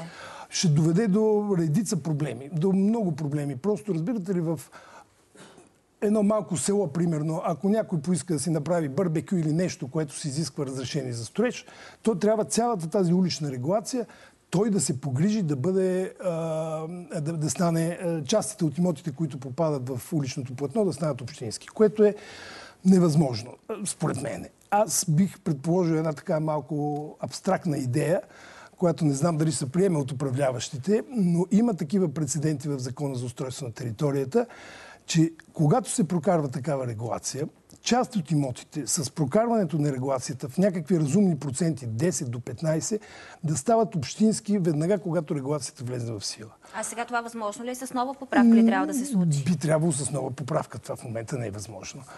А, това, пак казвам, на политиците най-вероятно няма да им хареса такава идея, защото тя не е много лицеприятна пред избирателите но аз не виждам а, по какъв друг начин могат да се оправят тези, тези неща. Аз ви благодаря за този сигнал, който отправяте. Можем да го наречем такъв в нашия ефир, защото много хора не си дават сметка, но утре, когато лично започнат нещо да правят, то ще ги засегне така, така или да, иначе. Да, така че това е важно. И последно изречение, особено в пандемията, защото отново ще погледнем към нея сега. А, каква е възможността за изваждане на кадастрална карта е, електронно? Електронните, скица, да, скица. скица. Тук бих искал да кажа, че Агенция по кадастъра според мен е една от малкото администрации, които а, са почти на 90% а, онлайн режим, т.е. работи по интернет. В интерес на истината, ако мога да се върна около две години назад, тогава беше предложено примерно всички проекти да бъдат а, внасени само по електронен път. Тогава, тогава беше малко погледнато скептично. А сега възможно ли е? И обаче, тъй като от агенция по кадастра настояха това да се случи, то се случи и сега работата си върви и според мен няма никакви Това е, проблеми. това е добре. А, когато електронизацията е на време, е наистина полезно за всички ни. И ако ми дадете само тази възможност Последно да изречение, моля. моите Да. колеги все пак с празника и да кажа, че тази година е година на жената в геодезията. И в тази връзка искам специално да благодаря и да поздравя нашите колежки, които извършват, голяма част от работа, която извършват е доста мъжка, но дават един цвят на нашата гилдия, който е така прекрасен цвят. Благодаря за което. Присъединяваме се към този поздрав и преминаваме към още един такъв, защото днес Велико Търново отбелязва своя празник. На 22 марта е избрана датата не случайно. Старата столица отбелязва историческата битка край Клокотница, когато войската на Иван Асен разгромяла византийците, нарушили мирния договор. Зорница Илиева сега ще ни разкаже как ще преминат днес празненствата. Знаете, вече при затегнати мерки срещу COVID-19. Зори, добро утро и честит празник! Добро утро, Хриси! Честита пролет в този хубав а, зимен ден. Ви казвам и честит празник не само на Велико Търновци, но и на всички българи от всички краища на страната, защото наистина всеки празник на старата столица е празник на всеки българин. А, намираме се на едно емблематично място, тук на вхора на Велико Търновския университет. Виждате зад гърба ми тези светини от българската история. Наживо сме с таз годишния носител на а, почетното звание а, почетен гражданин. Поредния, поредната известна личност, която ще остане в историята на Старата столица. Професор Милко Палангурски, здравейте. Благодаря ви, че приехте нашата покана. За нас е чест първи предпремиерно. След минути ще вземете официално наградата си, а но в ефира на Българската национална телевизия ние ще ви честитим. Благодаря. Честит празник на всички търновци. Заслужена награда Хриси този а, учен, а, известен е и разбира се част, почти част от екипа на Българската национална телевизия История БГ. Знаете, почти няма брой, в който професора да не взема участие. Сега кажете ми, а, професоре, в този ден, този понеделник, в който отново говорим, че държавата се затваря, че трябва да съберем сили и търпение. Какво можем да ползваме от историята и от даже от днешната дата, за да се сетим, че не ни от вчера и до утре тук на тази земя не се намираме ние. Можем ли да почерпим а, сили? Може би в принципността не трябва да забравяме, че празникът е посветен не на първа пролет, той е празника на светите 40 мъченици, по стар стил 9, по нов 22. Така че всички трябва да знаят, че това е свързано с едно събитие, което олицетворява българската история през средновековието, битката при Кокотница.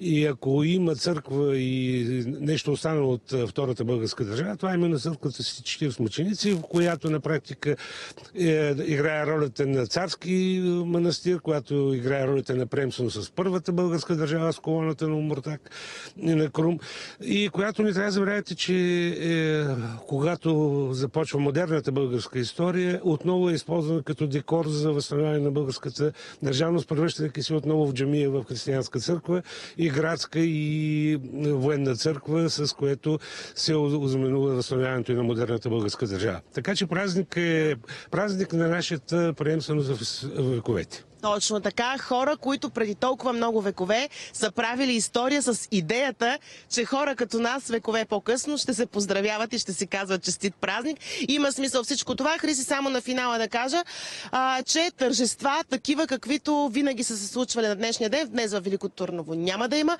А, тържествената сесия с единствена точка на удостояването с а, званието почетен гражданин на професора ще бъде онлайн. Само той лично ще получи своята награда. А, добри и известни личности получават и наградата Велико Търново. Но за това по-късно през днешния ден. Честит празник още веднъж на всички. Благодаря ти, Зори. Надявам се, че това няма да попречи на настроението на всички във Велико Търново да празнуват все пак днешния си празник. А сега ще разберем от Мария и Стефан какво са ни приготвили в а, 100% будни. Добро утро! Добро утро и от нас. Зимна картинка сме приготвили, както забелязваш. Честита първа пролет.